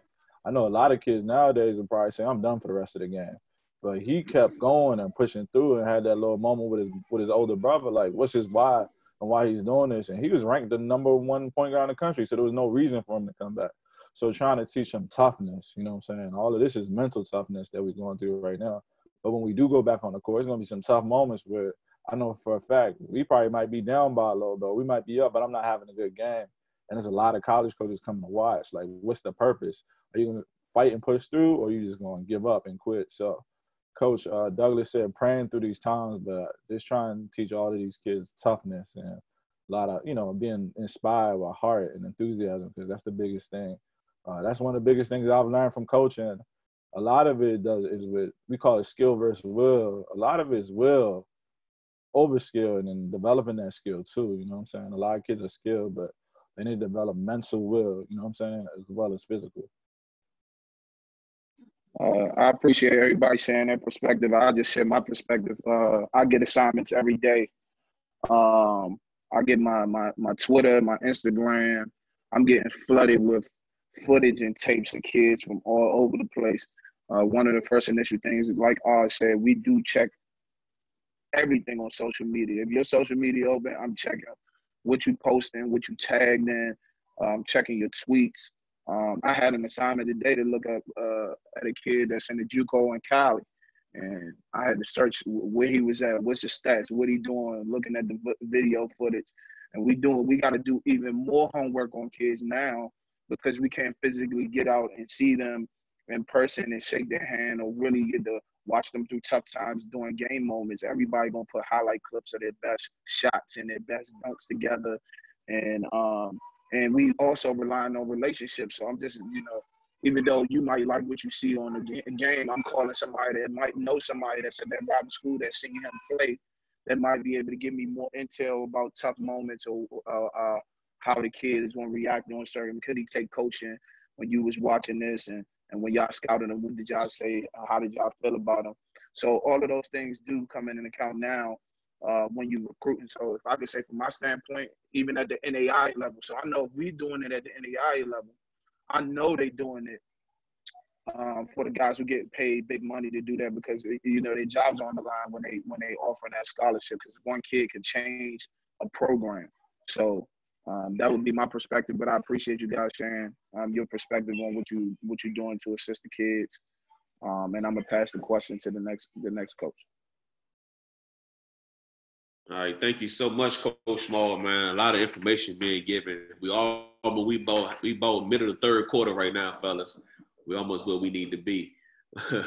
My next question, I'm gonna throw it at Sholape only. Sholape, I want to ask you a question as a public school, high school coach like myself. Um, I want to ask you how, what can high school coaches do to kind of bridge that gap between you all's AAU programs, not just you all, just AAU programs in general, uh, of communication, transparency, and so on. You said uh, through transparency. I mean, I'm kind of old school, just talking, um, like talking to us and saying what you want your players to work on and things of that nature, or saying if you have a player, because you said public school, so um, Coach Jennifer, uh, like if you have a player, just talking to us about them and like what's your expectations for your players to going back into uh, your high school season. Coach Man, I know when you had uh, uh, Curtis Holland on our team, that was you were very transparent with him and like some of the things you were looking for, and you told us some of his weaknesses mentally early. So that was an easy transition into saying, okay, we got Curtis now, but when he goes back into his school in uh, fall and winter time, we want him to be a dog, like a, a, a killer. You know what I'm saying? Because he's going through that AAU gauntlet. He's going through those tougher practices. Because one thing we do know about AAU, you're compiling the best kids in the area. So when you compile the best kids in the area, even if they ain't getting the playing time that you're expecting or they're not starting, they should come back into that area looking to dominate. You know what I'm saying? And I feel like that's the biggest thing. I know over the last years, we've had relationship with public school programs. Um, I tried to get a couple of your players, Coach O, uh, over the years, but they went on to play for like circuit teams. You know what I'm saying? Like I remember Daniel Oladapo, year one, we was we was gunning for him, but you know he went on to play with a circuit team. And he, now he's at University of Oakland, Sherwin. He went to go ahead and play with Takeover, and then he you know went out his senior year. He went to go play somewhere else. But the biggest thing is we try to create those relationships so we can be a feeder to some of these programs. So when their kids do come back to their public schools, they're looking to dominate. Um, I mean, I call, I honestly call that 2019 Eleanor Roosevelt team a district team because we took the players of such as Isaiah Gross, uh, Cameron Browns of the world, and we had the opportunity to develop them for three years. So when they came when they came back to public school, they saw a lot of competition. So the public school level wasn't you know, as fast. It became it started to become slower to them. You know what I'm saying? That's our biggest development is like the key is the development. And I feel like Curtis had the same maturation process when he came to us as a junior and started getting them scholarship offers. I felt like the league play started getting slow for him. So I guess just communication, like staying on the phone, you know, talking to each other in public, um, just letting know, letting us know like the goals and aspirations. You know what I'm saying? That's the biggest thing. Another misconception with AAU is I feel like some public schools, not saying y'all, but I think some public schools are scared to send their kids to certain AAU programs because they feel like they're not going to come back to their schools. But with communications and things like that, man, we could make it. I'm not saying a partner. it, it is a partnership at the end of the day, but we had that partnership of all right. Um, let's just say Curtis. I'm just keep, or let's just say Daniel, uh, or let's just say that little point guard. I like that little point guard you had this year uh, with the left hand. I went to watch that game against um, Springbrook he did a lot of impressive things. And say we had him, we would come back to you and say, all right, this is the things we want to work on with him. So when he comes back to Bladensburg, and we try to do this a lot, just challenge our kids to dominate or be better for their specific high school programs. Yeah, you're absolutely right with that. You know, the question, you know, because we asked the people, you asked the question that the people should know. So for me, communication is key. So I tell my kids about AAU. The rule is if your AAU coach can't call me, he ain't coaching. And it's not because out of respect. It's just because, coach, I like your kid. We gonna work on X, Y, and Z. Can you work on these things too? You know what I mean? So when that kid comes back, he's fine tuning his his toolbox. You know, that's the biggest thing for me. So when we have that communication piece and when coaches understand and get on the same page, you know, because coaches understand this, but sometimes we forget how small the DMV is and how much our kids talk. Mm-hmm. You know, and then that's when that communication piece becomes it becomes tampered and kids start to lose focus. And then that's when you see the kids that might be disrespecting a coach or talking bad about another program and on their Instagram and stuff like that. So definitely, man, communication is key. I appreciate that answer, Shalop. So I'm gonna pass the ball over to my man, Coach Jennifer Tobias Jennifer over at Honeytown High School. I appreciate that, Coach O. Um, you know, I've just been sitting back listening and uh, just soaking in all this knowledge from all you guys. Um, some some I know a little bit more than others. You know, so up at Frostburg with, with Coach Bason and um, you know Lape, I've, I've got to know over the last couple years, and then even being with Takeover the last few years, and got to watch Ray from a from a distance. So I appreciate all you guys. Um, definitely respect you guys a, a tremendous amount, um, especially what you've all been able to accomplish, um, given your platforms. So uh, my question is, I'm a I'm a public school head coach, and um, you know we've seen uh, the AAU landscape change over the last few years, especially with the rise or the rise in popularity of the new high school live period. Um, and we've even seen some kids decide to skip AAU altogether uh, because they're playing, you know, uh, summer league at DeMatha and even that live period now. Um, so, what are your thoughts on this new live period? And um, do you think we'll see more kids decide uh, to take that route and skip AAU altogether?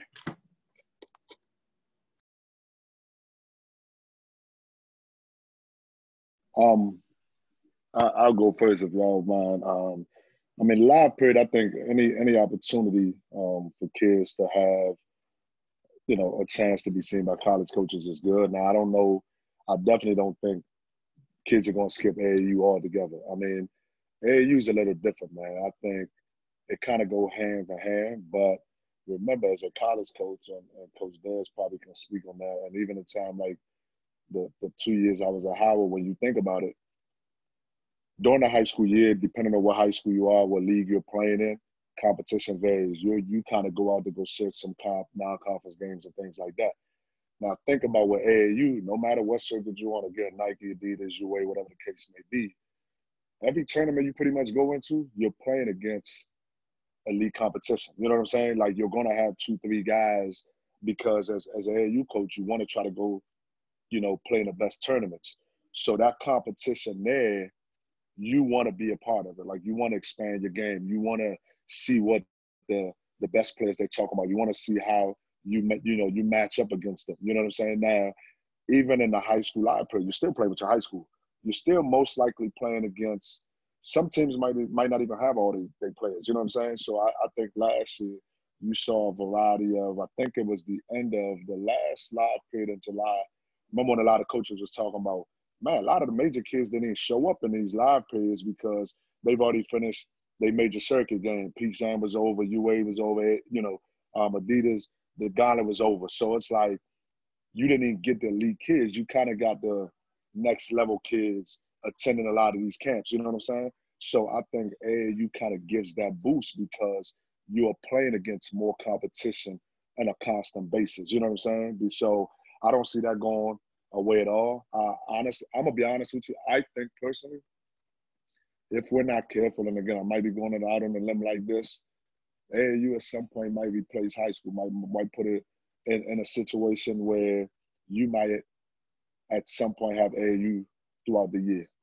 You know what I'm saying? For some people, because if you look at what's happening one and done, the G League, look what they're starting to do now, right? So with these guys, that's where they get that rush, playing in that circuit, playing that summer. You know what I'm saying? Being out there traveling, that's where they get that rush.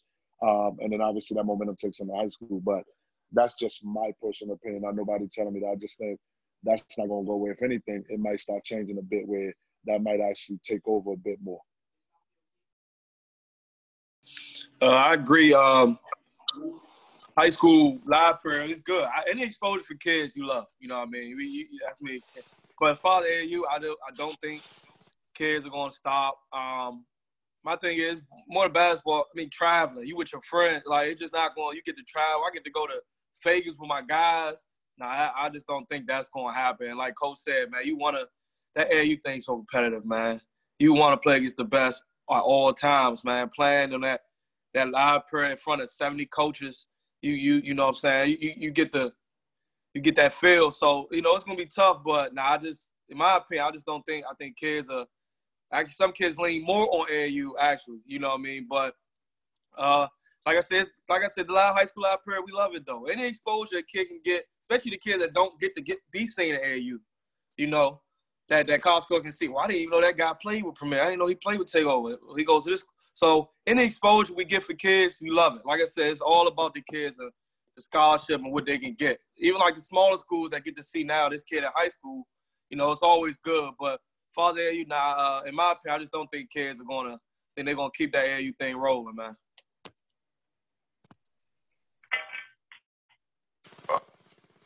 Yo, you hear me? Y'all hear me? Yeah. All right. For me to speak on that, you know, again, I come from the era where I was getting. Now I wasn't playing the same talent night in night out at the Rock League, but when we talk about college coaches there, I seen the same amount of college coaches at the Rock League that I seen in in in on the road with assault. So I'm and I'm I'm saying that because it can be possibly done without taking nothing away. You see what I'm saying? Again, this is the DMV area. We that that that that that right there is a whole microscope thing. Like, like that's a whole. You know what I'm saying? I don't think we go under that because of our rich tradition. They're going to come here. The problem has been we haven't had a solid summer league, high school summer league in so long. At one point, it was the Rock League. Like, so it wasn't. Nobody was complaining about if it wasn't enough high school summer leagues for exposure at one point. You see what I'm saying? So at one point, everybody in the country, Delonte West, Eddie, them dudes didn't play AAU basketball. Them dudes played Rock and Roosevelt. That's it. And they and they and hoop group and that type of stuff. So it's it's it's a it's a it's a space for it to work. And it's a space for nobody have to knock nobody out. You just gotta hit home on and say, look, we gotta come home and say, look, if we're gonna have two really good summer leagues, or one high school. Like all that's the like everybody got summer leagues. So instead of hot, for if we really want that exposure, bringing under one or two roofs from a high school standpoint, two summer leagues like Gwynn Park. Matter of fact, it was Gwynn Park and Rock League. We used to drive us. Oh, Des.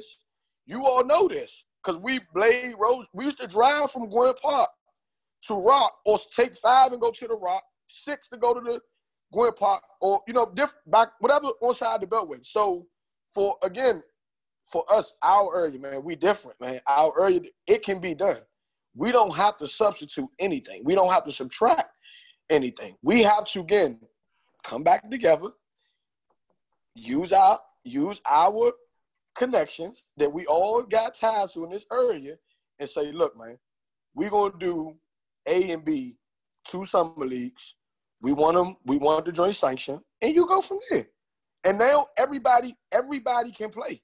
Everybody's going to get the exposure. You can't tell me them, them, them coaches not going to come to the master if, if we got a summer league with everybody there from the area. It, but it's about us. It's about us, and we got to work it out. But the problem is when it come to those type things, everybody want to be the forefront of it. When the forefront of the thing is to making sure these kids get the exposure. So I, I mean, for me to speak on, I come from that where I don't. I, I seen the summer league high schools don't affect AAU and AAU don't affect the high school summer leagues, and that was when the coaches didn't have relationships with the AAU coaches. You talking about when it was just co- AAU coaches just carrying it. Come here, you, you ain't going it this way. But it, it, it never affected it because it was a respectable it, at, at that point it was respectable. Like it was already understood. Like it's bump.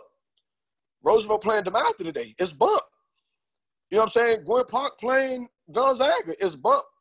So those Blade playing DeMatha. Like all these schools got their opportunities at one point.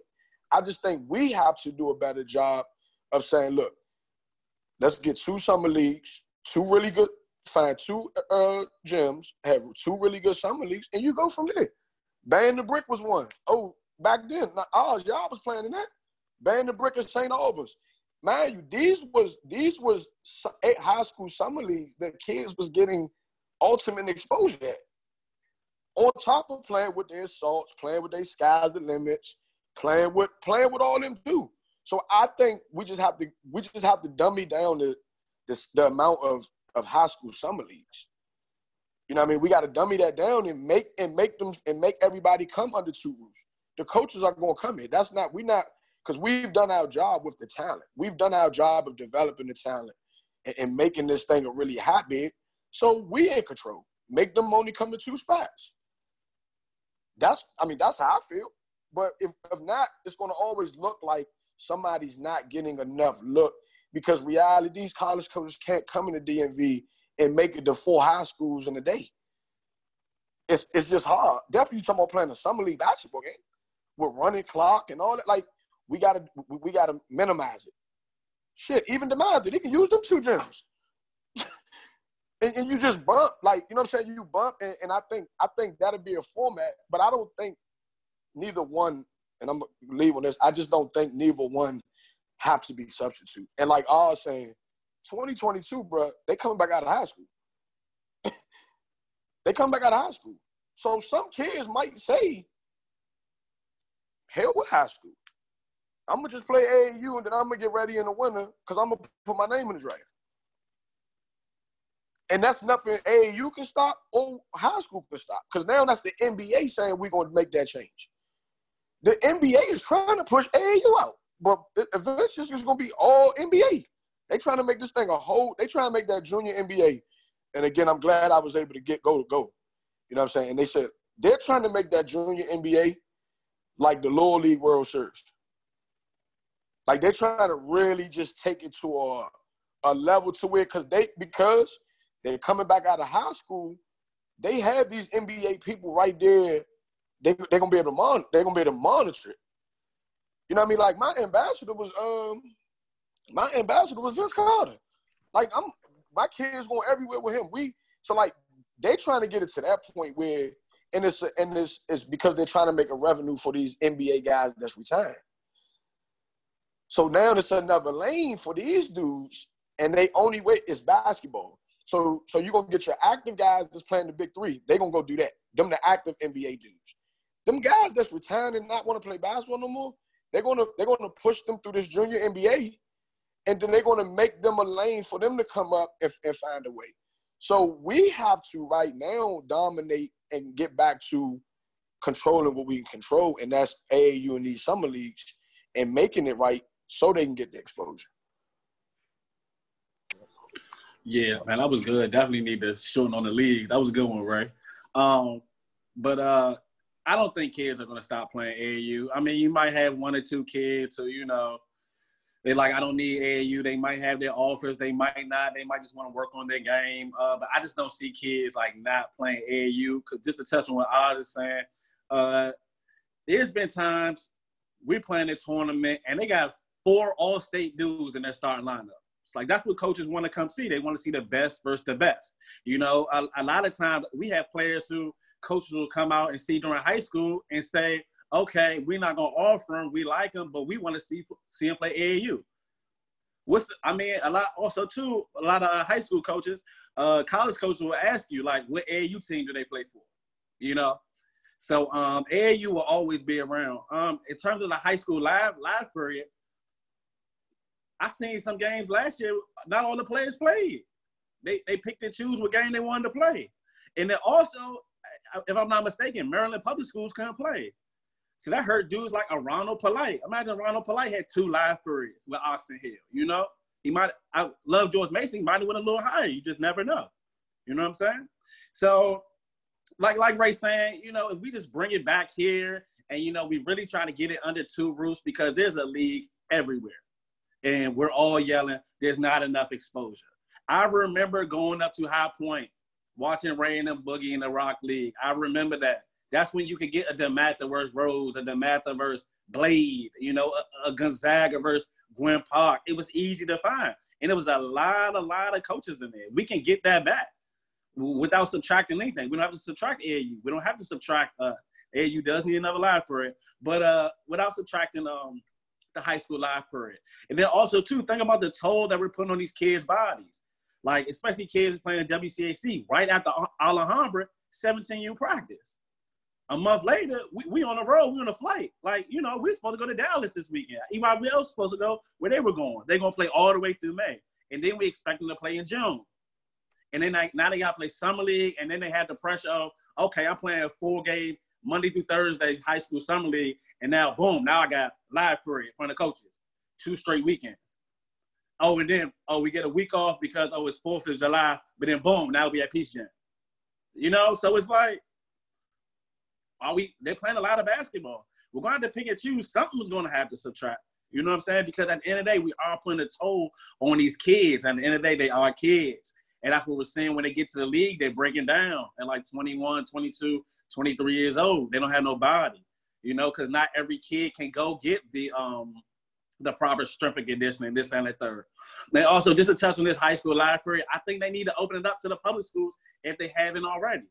I mean, shoot, last year Darius Miles with the St. Charles. I had to put him on Rock Creek Christian just so he can play in, in the live period. Because St. Charles couldn't bump. He was out there getting almost 20 a game. And I had to, I had to ask Loft, Loft, do me a favor, like, hey man, please, please, can he play with y'all? He put him on for the high school live period. He was able to get more looks.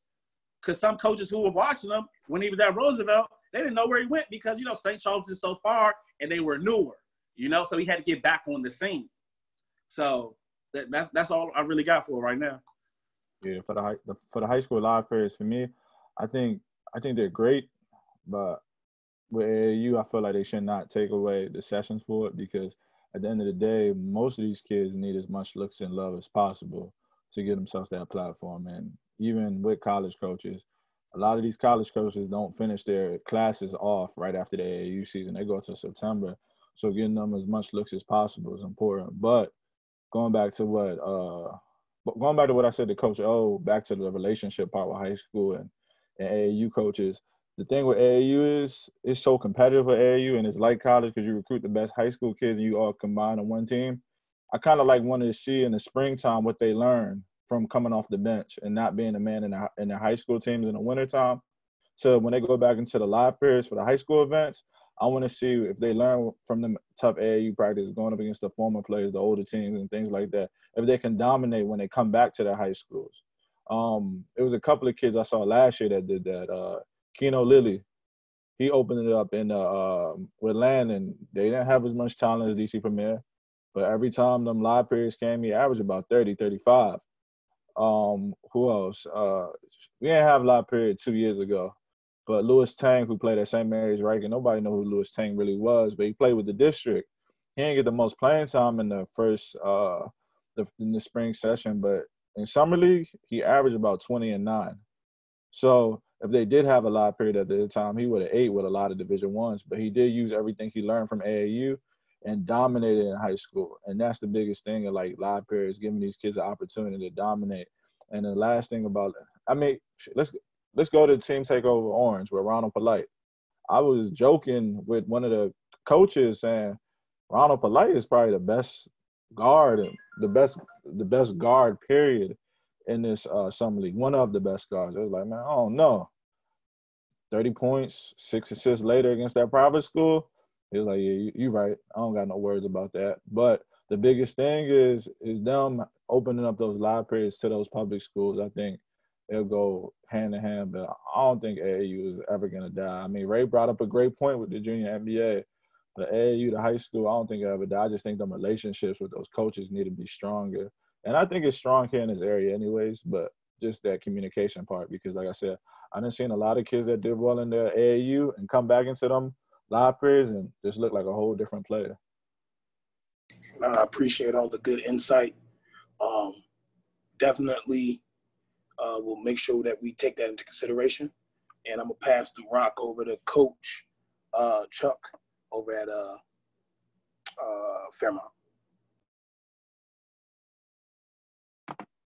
What's going on, fellas? So I'm gonna I'm try to bring this all full circle for you guys and kind of uh, school you to a few things that have happened recently. Uh, there was a legislation that was brought forth by uh, state senator up in Baltimore City, where they're going to allow us to play four additional games. And the way the way it's written is they're going to allow us to play four additional games every year, and you can decide whether you want to use those in the live period in the summer times or if you want to use them in your regular season. So they they yeah, it's it's really weird how they wrote it, but at this point it's just something that they got on the books just so that they say, all right, now it's new. Um, and gives us an opportunity to play in those live periods. Whereas, like say for instance, with me, uh, my Fairmont team, we don't have any seniors this year. So it, it's not really advantageous for us to play but maybe one session of it and then use the other two games to maybe play some some big time games during the regular season. You know, it's just one of those things that now it's it's another chess piece for us, um, so to speak. Um, but here's my question because I completely agree with you guys. I think the landscape of AAU is changing. I think it's you know it's, it can be a hybrid between what we used to have when we had the Rock League and we had our AAU. We, I mean, we had the Rock League, and we had a Summer League, and then all of a sudden it morphed into this AAU structure. Me being a guy who played in Europe, I actually think we're gonna go more to towards that model, and I think the um, I think the junior NBA is just a step forward towards that model because when I played in Germany, they had the Bundesliga, which is the main German league, and then they had the uh, the junior Bundesliga, which is like basically AAU. Um, so my question to you guys is, um, how do you think with the one and done, which everybody kind of knows is coming, is going to be approved? How do y'all think the one and done is going to affect us? And where do you actually see AAU going from this? Well, I don't want to say AAU. Where do you see basketball going, and where do you see it developing? So I'm a, I'm a, I'm a, I'm gonna go roll on this one. I'm gonna start with Oz, and then I'm gonna go Chuck, and then we're gonna we're gonna skip around a little bit. I want I want to hear from Oz and Chuck first, though. Uh, yeah, Coach. I mean, I, I think that one and done, man. I think it's due, man. I mean, just like any other thing, I think everybody should be. You know, if, if you decide you want to make, you know, you want to make a jump, it should be your decision, right? Nobody should control that. Obviously, you got to talk to your family, make sure you're ready to make that move. But I don't think we should put a limit to what a family or kid can do in terms of the decision they make. We make decisions for everything else we do, but now we want to push. So I think that'd be good because one, and I'll go deeper into that. When you look at the NCAA, let's be real, guys. Like kids are going there. We talking about them getting paid. They're not getting paid. But I tell you what, this coming, are they gonna start throwing that money? And think about the, the the stuff that's coming out now with the G League. So everybody is jumping in to find a way, okay, how they can monopolize what's going on. But now giving that option for them to leave, I'm good with that. But it goes back to what I said in the last com- in the last question is I think with AAU in the position it is right now, it is going to come to a point where I'm telling you, I think it's going to be a, a thing where it might end up being year round because of that one and done and then I think Ray or somebody said it was like, well, now if you figure you play you you play against that level of competition, you don't necessarily need to play high school, right? You can train and just prepare for the league because just like what they do to Major League Baseball, you do with hockey and all these other sports, they can start drafting these kids right out of high school. And they sit them somewhere and then, you know, you go and play. Basketball is kind of one of the only ones that they don't do that to. So now you think about them opening that up. Why would a kid right now and, and look at uh, Isaiah Todd. What happened to him yesterday? Decommit so he can go pro. So now he's skipping that college opportunity because now they want to make this process a lot quicker. So, you know, I'm I don't have no issues with the one and done man. I think it's a decision if if a kid is ready. Not all is gonna be ready. I mean, some are taking chances, but who am I to say if that's your dream? I think we just have to be smarter and wiser, you know, to to kind of guide them through the process, to let them know what it looks like But I think the opportunity of having pro leagues all over the place from so if you don't make the league, you got the G League. If you don't do G League, you know Chuck, you go overseas play. You know what I'm saying? And if you have some type of name within AAU or high school, like you're gonna have opportunity to make money. So being a pro don't necessarily mean the NBA. You could be a pro in China playing overseas. That's being a pro.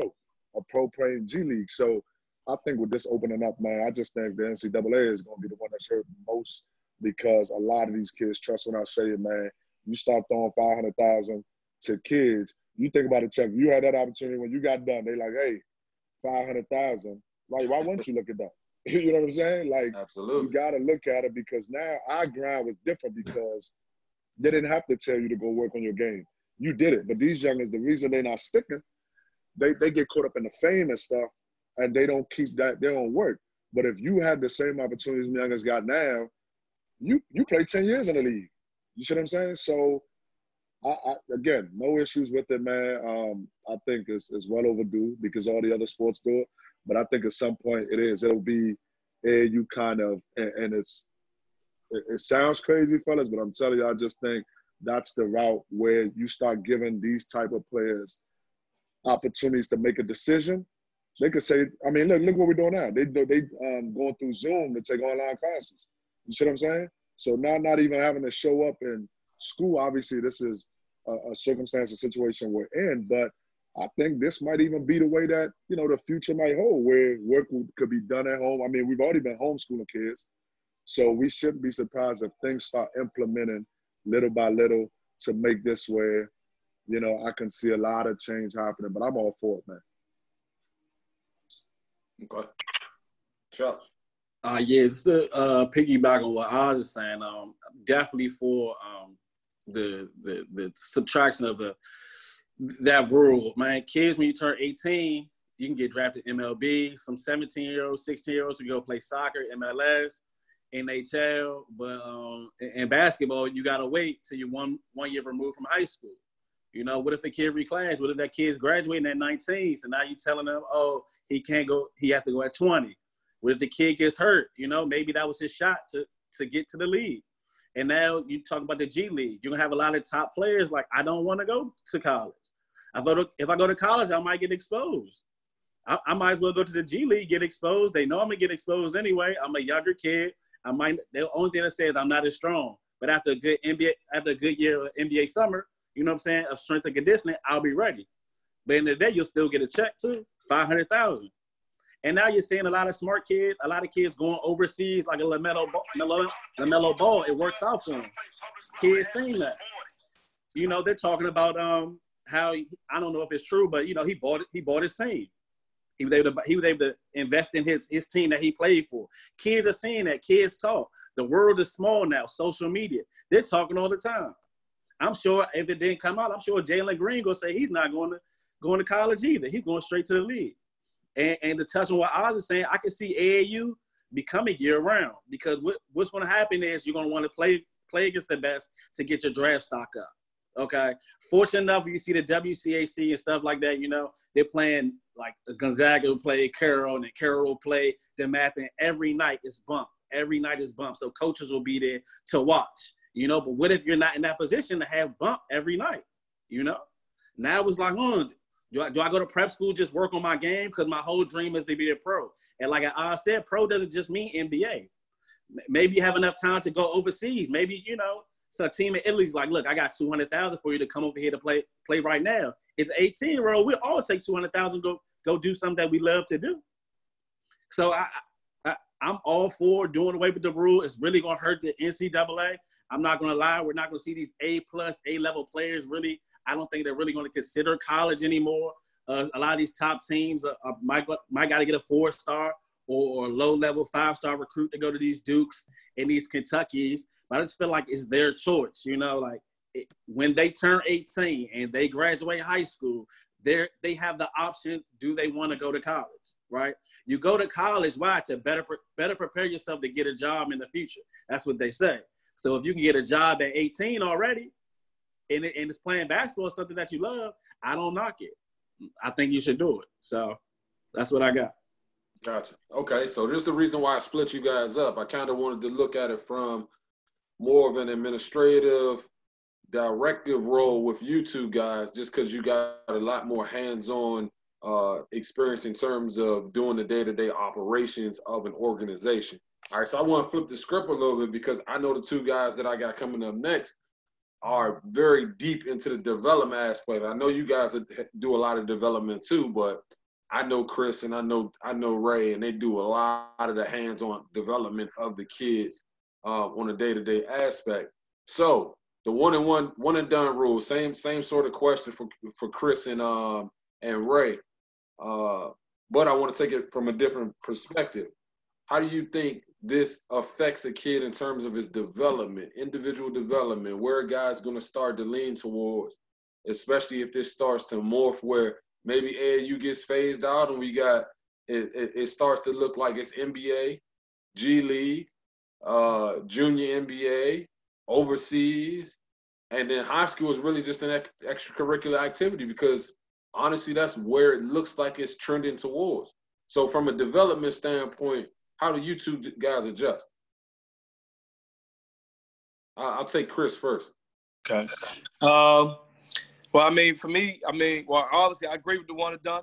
Um, I do, but far development, I mean, it just you know, some guys now going, we want to. Some guys going to work on what they see in the pros, and they're going to want to do like, well, I got to do all these hard and Curry. I need to work on stuff like that. Um, so development's going to be a little different, you know, especially guys coming to gym want to work on different things. Uh, as far as like you know, just all NBA pro stuff.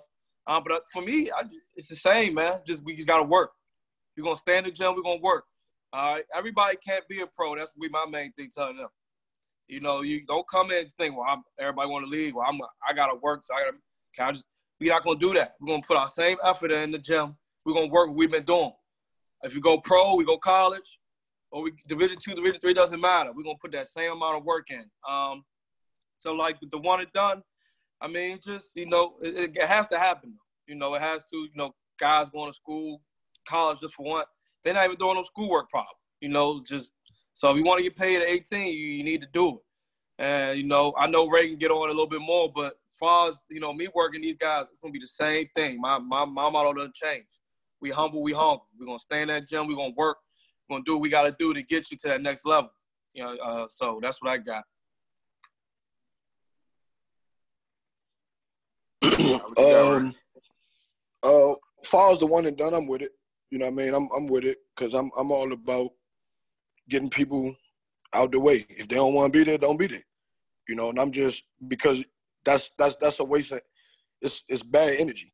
When you somewhere you don't want to be, that's bad energy. So yeah. bad energy brings just so much more of a chaos from a college coach, the campus, whatever it is. So a lot of these dudes and today they already going in the mindset of not liking school. I'm one of them. I went to Roosevelt every day because I knew at the end of the day I wanted to practice. It wasn't no, and it's not that a kid can't do it or not do it, but this is just the reality of it. You know what I'm saying? That's the reality of today's like, and I'm, I'm, and I, I heard Coach Oz talk about the schooling changing. I'm with that because today kids work better off visual visual visual work. They don't. They're not good with sitting in there reading a book and all that. It's, it's it, it, they not. No knock on it. They're just. I think everything is changing. You know, and I, like I said, I'm with the one and done. The dudes that don't want to be, that want to go, go. If you don't, if you think you need a year, you need a year, do the year. You know what I mean? So I'm, I'm not. I never. I will never. I I'm never against somebody changing their lifestyle. I, I, I, I'm not. Like that's that's you I never tell somebody to turn down some money or or or, or bet on yourself and, and believe that. You know what I'm saying? uh from a hello? Oh, yeah. from a um from a from a training standpoint, Chuck, outside of we all could wake up and know who a pro, like just like you like there's certain dudes you just know a pro. But it's not that many. So let's let's when I when I say this, let's take them away nothing changes because you ask a kid, you can ask, what is a pro? What do a pro look like? What equals a pro? Far the ones that's when we talk about not the ones we just know. What makes a pro? Me and Oz been talking about this for so long, even when I was in high school. You can't get away from the work, the word work. you have to work. You have to work. So to give even give yourself a chance to be a com to even give yourself a chance to be a pro, you gotta work. It's it's it's nothing else. Now, do we need we need some luck? Do we need right timing? Yeah, we need all that. And all that but far as are we gonna change a, a regiment? Only way I'm gonna change a regiment, uh uh Chuck, if the agent come in there and pay me a bag. That's why I'm gonna change it. Cause that's what that's the only way it's gonna have to change. Okay. Other than that, we gonna we gonna we gonna work. We gonna work, and I'm sure. Again, Coach Oz' brother was a pro. He he know what a pro look like. He he and guess what? Out for work. So if you go to ask Coach Oz, hey Coach Oz, what a pro look? Man, you gotta go work.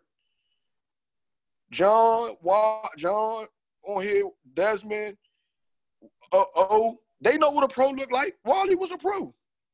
It's just certain things didn't go that way, but reality, we know what he did. He decided to put the work in. So when you so when you say I'm gonna put my head down and put work in, those you're gonna get closer to those results. So and like I tell people, even the dudes that's in the NBA today, you keep your job from working. You don't keep your job just because you did. You either keep your job or lose your job from working. And that's and that's a kid that's trying to not that's a kid that's trying to be a first team all Met. That's a kid that's trying to be a college basketball player, any level you have to work. So my thing is we'll never be able to get away from, from that, from that, from that word right there, work. So if you don't work, you ain't you ain't gonna make it far. That's in anything. Okay. You know, so I think I think to be a to, in the work like a pro, you gotta it's a, it's some sacrificing you gotta make, you gotta take, and that's gonna be the that's my biggest question when it go back to coming out of high school how many of these kids really gonna do the pro things? See, because everybody want to be a pro, or everybody want to be a coach, or whatever it is. Are do you know, or are you willing to do the things to be the best at that? So a lot of people just think being a pro, oh, just going in the gym. Now I'm gonna go in the gym and get shots up, work on my skill. Nah, you gotta go home and eat right. You gotta go get good sleep. Like it's a pro, it's a pro regiment. Like it's a regiment to be a pro. You know what I mean? You got to respect your body. You got to respect, you know what I mean? You got to be mentally strong enough to tell your boy, no, I ain't nothing. I ain't doing like it's a lot to come with being a pro that's self, that's more self than than anybody else. So I, I think that's gonna be the I think that's gonna be the toughest challenge of getting today's generation, 18 year olds that's been pushed at the level and not worked at the level. It's gonna be it's, it's, it's gonna be it's gonna be really tough because these kids now it's not a lot of them a lot of them got pro attributes and pro ability but they don't have that work ethic and, and grit to actually like i tell people do you want to be an nba do you want to be a, do you want to be an nba player or do you want to be an nba longevity guy it's a difference because all, a lot of kids are talented enough to go get drafted or make or play in the nba but are you good enough to stay there and make it and make it a or are you good enough to stay overseas? People don't realize overseas harder than the NBA at to, to certain levels. Because practices a day. because when you go over there, Chuck, and you know and Oz know as an American, if you can't put that basketball in the hole, you're coming home. Facts. There's no if, ands, what's, what's about it. And there's guys that we know that's been college All Americans, NBA dudes, and went over there. And because they lost their work ethic, they lost their job. So, man, the biggest thing, man, is, is you know, and we, man, I was laughing all the time. We talk about all the levels we didn't been at. And we always, every time we talk, and it comes back to, I love, love you, man, keep working. Love you, man, keep working. You have to work, man. Oh, talk. Oh, start. We talk, have fun. Get off the phone. Hey, man, keep working. Like, like, like that has to be the that's the that's the concrete of this thing, man. Work, work, work. And I think again, Chuck, honestly, shit gonna be harder for us. Cause now everybody's gonna want to come out of out of high school, and now they're gonna look at me and a Chris, a Keith Williams, a, a, a Chavis, a, you know, they're gonna look at all of us now and they think we're supposed to really make a miracle in a couple months. Facts. You know what I'm saying? to where this thing is day by day, hours by like you know, it's just Yeah, it's a yeah. constant grind, It man. And, and you know, and like I've been blessed, you know what I mean? Blessed and fortunate enough to even see pros, be around it, understand it. And man, and again, like I just tell people like we're blessed right now that Kevin Durant is arguably the best player in the world, and Victor Oladipo is arguably one of the best players in the NBA. These two dudes are from our backyard. I tell people all the time, one thing I've watched them do, and if nothing else, man, they are the hardest working individuals I've ever seen. And I'm talking about you can go in there and tell them, look, we're just gonna go rip through one dribble pull up. Man, they gonna do a rip through one dribble pull up hundred times, but at hundred miles per hour every time. And so now one of Kevin's slogans is, "It ain't no defense," and it's not because there's no respect to the guy, but it's the fact that I've went in here and did this every time, so I know I'm gonna get there. But then you get a kid that come to us like, "Hey, coach, man, why I can't get there and get to my jump shot?" Well, when we in practice and I'm telling you, you know, you're doing a shadow by yourself, you have you just going through the motions. So now when the game time come, I can't get to that shot. So the biggest the biggest thing gonna be Chuck is making them making them lift up they they level of work. Are they gonna are they gonna are they going to match that that intensity to give themselves a chance to go do that? No, that's real. That's real, man. I appreciate all you guys' insight up to you know the future of basketball, man. But to, to back up, Ray, I, I absolutely agree with you because I was one of them dudes that took some some guys who played in the league jobs when I played overseas. I took a bunch of Division One dude jobs because I came over and I worked. And them dudes, when we were supposed to be at the gym, practice twice a day. I don't think a lot of guys prepared for that, man. Yeah. You got to go over there. You practicing twice a day, every day. You got practice on the game day. Like that threw me off the first time. Yeah. 8 a.m. 8 a.m. practice, and we got a game at 6 p.m. yeah, so nah, that's that's real, man. So I'm I'm gonna pass it back over to O. I think I think we're gonna wrap wrap this whole thing up, man. But appreciate all you guys jumping on this on the call today, man. A lot of great dudes, man. Love all you guys, man. Like Ray said, man, let's make sure we continue to work. Yes, sir. Likewise. Work is, work is key.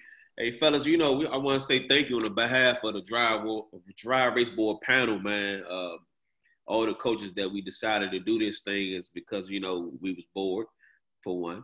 Two, we in the house. Uh, but during these times, people being bored or have nothing to do is a great time, you know, for to get your mind together, spend time with your family, and actually talk hoops. So the last thing we're gonna close out with, we're gonna do about five or six minutes of this overtime. Summer league, this is summer league overtime, right? This ain't a regular season overtime. It's been a lot of talks on the internet on Instagram. I want to thank out. I want to thank my man uh, Quinn Cook, man, for bringing it up because it's, it's much needed talk. Because one thing I know about the DMV coming up here from North Carolina, there's a lot of people, but the circle is small. But I, we want to close out with something special, and we just gonna add another five or six minute piece to this. And I want y'all to speak on how the players in the DMV, mainly Prince George's County, public, private, whoever may have you. And I want y'all to stop bringing some names up. There's some of them names that was left off them conversations. And we're going to give you guys the platform and the panel to actually talk about some of those people that some of our young folks, like Chuck said and like Sholape said, our young folks don't get to hear their names off Uh, of the guys that we witnessed and saw what they did. So the floor is yours.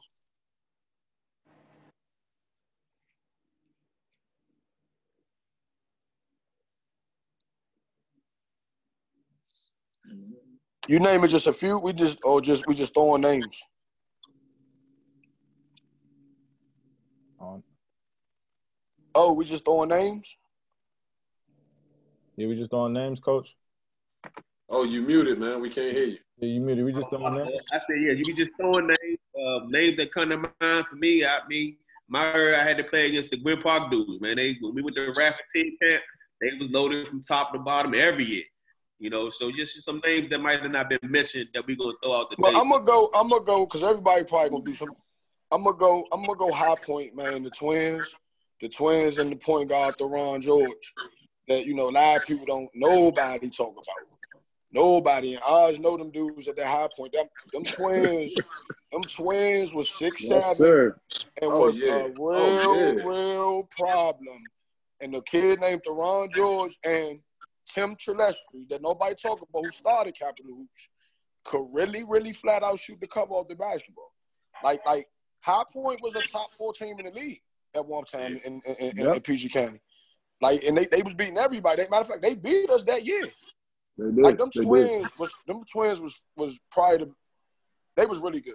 They was re- they was on that level of Chris Prince, Chris Wims that nobody talking about them two when Oxon Hill went 27 and 0 before losing us. They was top 15 in the country that year. They beat Sebastian Telfair. in there. You know what I mean? So Demario Anderson. Like these dudes was mid-major players, but was man, golly, like really, really good. You know what I mean? But I'll let somebody else keep on too though. Uh, uh, some of the players that I off the top of my head that I didn't hear. I'm gonna just I'm just go PG County straight. Um, Sterling Ledbetter, uh, Laurel played at the University of Maryland. Um, big point guard. Uh, Jock Vaughn played at uh, George Mason, again Lower Mm. High School. Athletic wing. I Think I think a lot of the kids in the area. We got a lot of talented wings in our area, but they don't play hard. They just look good in warm up lines, but I done seen some games where we go up against six, seven wings, and you put a six one guard on them, and you put a little bit of pressure, it's over because they don't want to, you know, go hard or post up or get rebounds and things of that nature. Uh, Hey, Lape, not to cut you off, but my God, you named a hell of a backcourt with that Sterling Ledbetter and John Vaughn. Good. Oh my God! Hey, hey, look, hey, God, hey, man. Ray, Ray, Man. Ray! I just had flashback. I just had flashback. I look back now, I don't even. I think I don't even know how we winning some of them games. You know? man, go ahead, keep going, bro. Woof, man. Another one, I mean, they ain't mentioned his name once, but Ray just mentioned his name was Wally. His time Hey, at. He had um he, he had y'all bumping. I mean, Late always had a great program, but to see what he did was was crazy. Another one who oh this one played in WCAC, but I call this WCAC's team an extension of PG County the DCIAA, which is Carroll and Jamar Samuels. Ray played with him. Uh, inside out threat, played like a straight goon. I think more people need to watch players such as that. Uh, another one was uh, Jason Clark. Uh, a lot of point Mm. guards learn how to hit full court like he did. You know what I'm saying? Distribute the basketball. I mean, I grow. I mean, as a coach, I grow with appreciation now. So two of my favorite point guards watching, and they were both WCAC kids. Was uh, one Kevin Dorsey. I mean, he ain't get the college career because of crazy things that happened, but the way he played though. He me, but hey, hey, hey, hey, Ray Brew, you know what that is with Kevin Dorsey, Slim. Yeah. Any day, any Kevin, day. Kevin Dorsey. And as I grew older as a coach, I like efficiency. So Kendall Marshall as a point guard, I'm just talking about point guard attributes. But just making Yeah. reads, your body the most sexiest. So just getting the ball ahead, keeping his eyes up, things of that nature was great.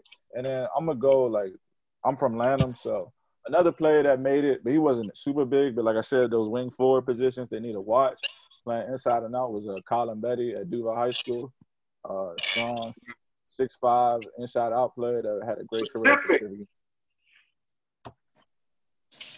Yeah, man. Uh, like, oh, I'm gonna. T- oh, I'm, I'm, I'm just going back when I grew up Glenard watching. Like, oh, probably know this name, man. You got Jermaine Green, Dematha. Nobody talk about him. Uh, who I- my guy who I'm really close, uh, Ray probably know him, Freddie Stanback. Man, was a problem. He was My tough. goodness. Freddie Stanback was a problem, Slim. Uh, I had a guy who just over my crib, Big Brian Johnson. He went to O'Connell. Came down from Carolina, though. Um, even in my class, Chuck No, Chris Tolson from Laurel was a, He was tough. that was a tough matchup for me. And not knocking Chris Tolson. That whole Laurel mob was tough. You had Darren Clark at Largo, who was tough. Um, Big Mo Sutton at Largo. Uh, man, it's just man, this area crazy, man. It's just it's just too many to name, man. I know I know Chuck got a lot, man. Nah, y'all really named a, a, lot of my dudes, man. Um, My dudes I, I played against, I, I can name Donnell Dodson was tough. I don't feel like he got enough credit in that one. I mean, remember him coming over giving us 40 something. Crazy. Oh my God. He was, Uh, he, was, hey. he was nasty. Oh my god. God rest my man. So Eric Henderson, I remember him walking in the gym Woo! Hey, in the middle of the second quarter, book. getting 35. Like, Oh my I remember that. That old boy, that boy Yeah. was crazy. Yeah. He was And- crazy. He was And, and one, crazy. one of my toughest checks, I, I was a young boy, but I was I was I like Mike Lewis. Like Mike Yeah. Lewis was tough to me. Like Yes. coming over half court, like letting that thing go. Um, Yes. But then, Yes. then I, uh, I mean, you know, I noticed somebody said Kendall Monson, so I guess we crossing the border. I grew up in the city before I moved to Maryland, so I had loved that Cardozo team with Lester and Antonio. That backcourt, they played them out there every single year in the city championship, and nobody was doing nothing with both of them. So, so, th- so those are some of my, those are some of my favorites. I mean, we go on and on. Cause this hoop is all around, but um, yeah, those, those are definitely some of my favorites. Hey man, y'all, y'all, y'all done took everybody. I was going, man. My goodness, like, hey, it, it's, hey, hey, oh, it's, it's, it's, it's tough, man. But I, I think guys, the, the sleepers that I saw, like the Donnells, the Jock Bond, these guys, man. And, and I'll tell y'all, and Ray, you remember, even we talking about it now. Even Lamar Butler, uh, you know, the Oxon Hill mob, man. Like, like Uh, when you look and at these Phil Goff man, together, it was, it was amazing. like, I it- mean, it, it is, and uh, to That's why, piggyback on I that, uh, to piggyback on that, for you now, no job. Like, I think Lamar and Phil really got to get more respect because them dudes went to the state championship four straight years. No, Yeah, we got Fact. They went, they went four straight years, and they won their last one. But yo, that ain't heard of, man. Nah. Dudes going to four straight state titles. Not not in the four A. That was in, in its heyday. Like that was a And, that and, was a and, and I'm talking about, and I'm talking about Phil and Lamar. I was at Newport, and I watched them rip Gil Goodrich and T.J. Thompson a new hole one time, Slim. And I'm like, whoa. and, and, and Chuck, and Chuck, the funny thing is, them years, man, like we we always had a good mob, man. But that Oxon Hill mob, like we we, I think we gave plan when the season started. It was all Oxon Hill. We worried about nobody else. Like that's how loaded. And then you had a big fella back there, obviously, man. But nah, I do, man. I think that this area, when we talk about it, man, the talent is, is unreal, man. And that's what we got to keep doing, man. Just kind of keep sharing this with these kids, man. And Lop, I kind of like what you say y'all do, kind of show old tapes. Because at one point, I had to tell a lot of kids when I was coaching, they was asking about Ray. And I was like, man, you know, his intensity is funny. Because if I tell y'all the amount of fights I had to break up in practice, because the energy like that Ray brought and the demand, what he demanded of guys, like when those guys, so again, it started with guys before him that come here and be like, man, listen, like when my brother used to come in the gym, like Ray and them want to play, and he's like, when he's playing them, he's playing them as if they're pros. Like, nah, I'm not. You're not a high school young. You want to step in between these lines, I'm gonna treat you like a pro. You know what I'm saying? So now it just kind of translates. You got the line said, you got Eddie and these guys. So when you tell guys, it's always good to us to, to take these guys back and say, man, listen, these guys played at a high level. Now again, y'all generation is easy, but the perfect word we use all the time, like you said, is this work, man. To get there, you can't you can't shy. You can't shy away from them. When they lift this thing up, you know who been putting in the work, who has it, man. So it was absolutely a pleasure, man, being on here with you fellas, man. Look, anything I can ever do for y'all, man, is all love, man. You know, I'm a, I'm a phone call away, man. Look, look forward to see you guys continue to grow. All right, well, and I need out a to left. I need And need Ray, they was trying to act like you ain't played six games and win the state championship, Joe. They try your freshman year, they try to act like you ain't just played six games They go win that thing, Flip. I remember being at that game. Joe, my Hey, Chuck, cousin was look. Matt Queen. I was at the game, Flip. Yeah. Yeah, they was faking. I didn't Hey Chuck, understand but that. that's why but that's why it's good just to have these. You know what I'm saying? It's good to have these because you know you need these round talks. You know what I'm saying? You need them. Like I Yeah. mean, like and I'm and like I'm to the point. I'm so happy and passion. Like, bro, I tripled down. Like even used to compete with John and Desmond in practice. You know what I'm saying? Like I came back and it got to that point. You know what I mean? And to, to even see them go do what they doing is like, man, it is like this love, man. It's, it's and that's what it's about. You know what I'm Yeah. saying? And again, I, it was what it was with me. We know, like you gonna hate me more than you love me, but you are gonna love me when it's over with. And I'm cool. with Hey, it. Hey, when they was talking crazy about you on live, Ray, I was I was like, they they must be. They didn't know. drunk fuck. I was like, they tripped. Oh nah, hold on, hold on. Hey, listen, I Hey. I didn't. hey, I that didn't, was to get a I rise out of Ray, hear. man. So hold on. They, they, they threw you out there, Slim. They threw you Nah, out there. they, they, they was disrespectful, man. Like they he, they like, he they they, work. they, they was definitely tripping, and I was glad Wax got on that joke. Like what? Like crazy. Hey, hey, hey, Ray. I tell, hey, hey, hey, hey. Oh, I tell him like this. I could name a few games, few arenas we rocked in. I called them like the Lagos, the Sulin Slim. Ray came to boogie. I mean, it was one on. You know what I'm saying? Like you, you seeing guys, you know, like take take control of situations, man. But it is, man. I mean, we got a lot of guys, and I think the respect. It, it's the lack of respect right now, man. That you would just throw guys out there and say guys weren't built for this when the air is actually different. You know what I'm saying? So, Yeah. but it's what it is, man. If you don't know what's understood, don't need to be explained, man. You know what I'm saying? right, Oz. While I was just thinking, I was thinking uh, about some names, man. And I can't let the, the, the five and nine crew get out get out my head with Israel and Joe That's the smallest backcourt in PG County that was, you know, doing. We had John and I know I'm a Blazeburg guy. I go on and on. Those guys that success went from not ranked to top to perform the area. You know what I mean? Got guys that I look up to like Joe Holmes. Play pro golf. You got you got uh, Alpha Band Roosevelt. Against Roosevelt, and he happened to be playing. He caught the first hoop off the tip. You know, that's basketball was real. you know what I mean? So you had guys like Joe Law, you know what I mean? Kershaw and Flood. So, and Bam. Joe Lofton, Forestville High School. And, and, and Bam, don't forget Bam. Don't forget Bam was on that. I ain't gonna forget Bam at all. And then you had guys like Rob Diggs over at Gwynn Park. Yeah. Yeah, he Oh, was Sir cooking. Valiant Brown, man. Cornbread. I say that one.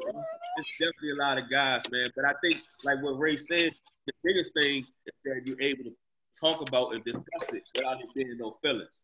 Because at the end of the day, like Chuck always say, Chuck Henry always say everything is so subjective.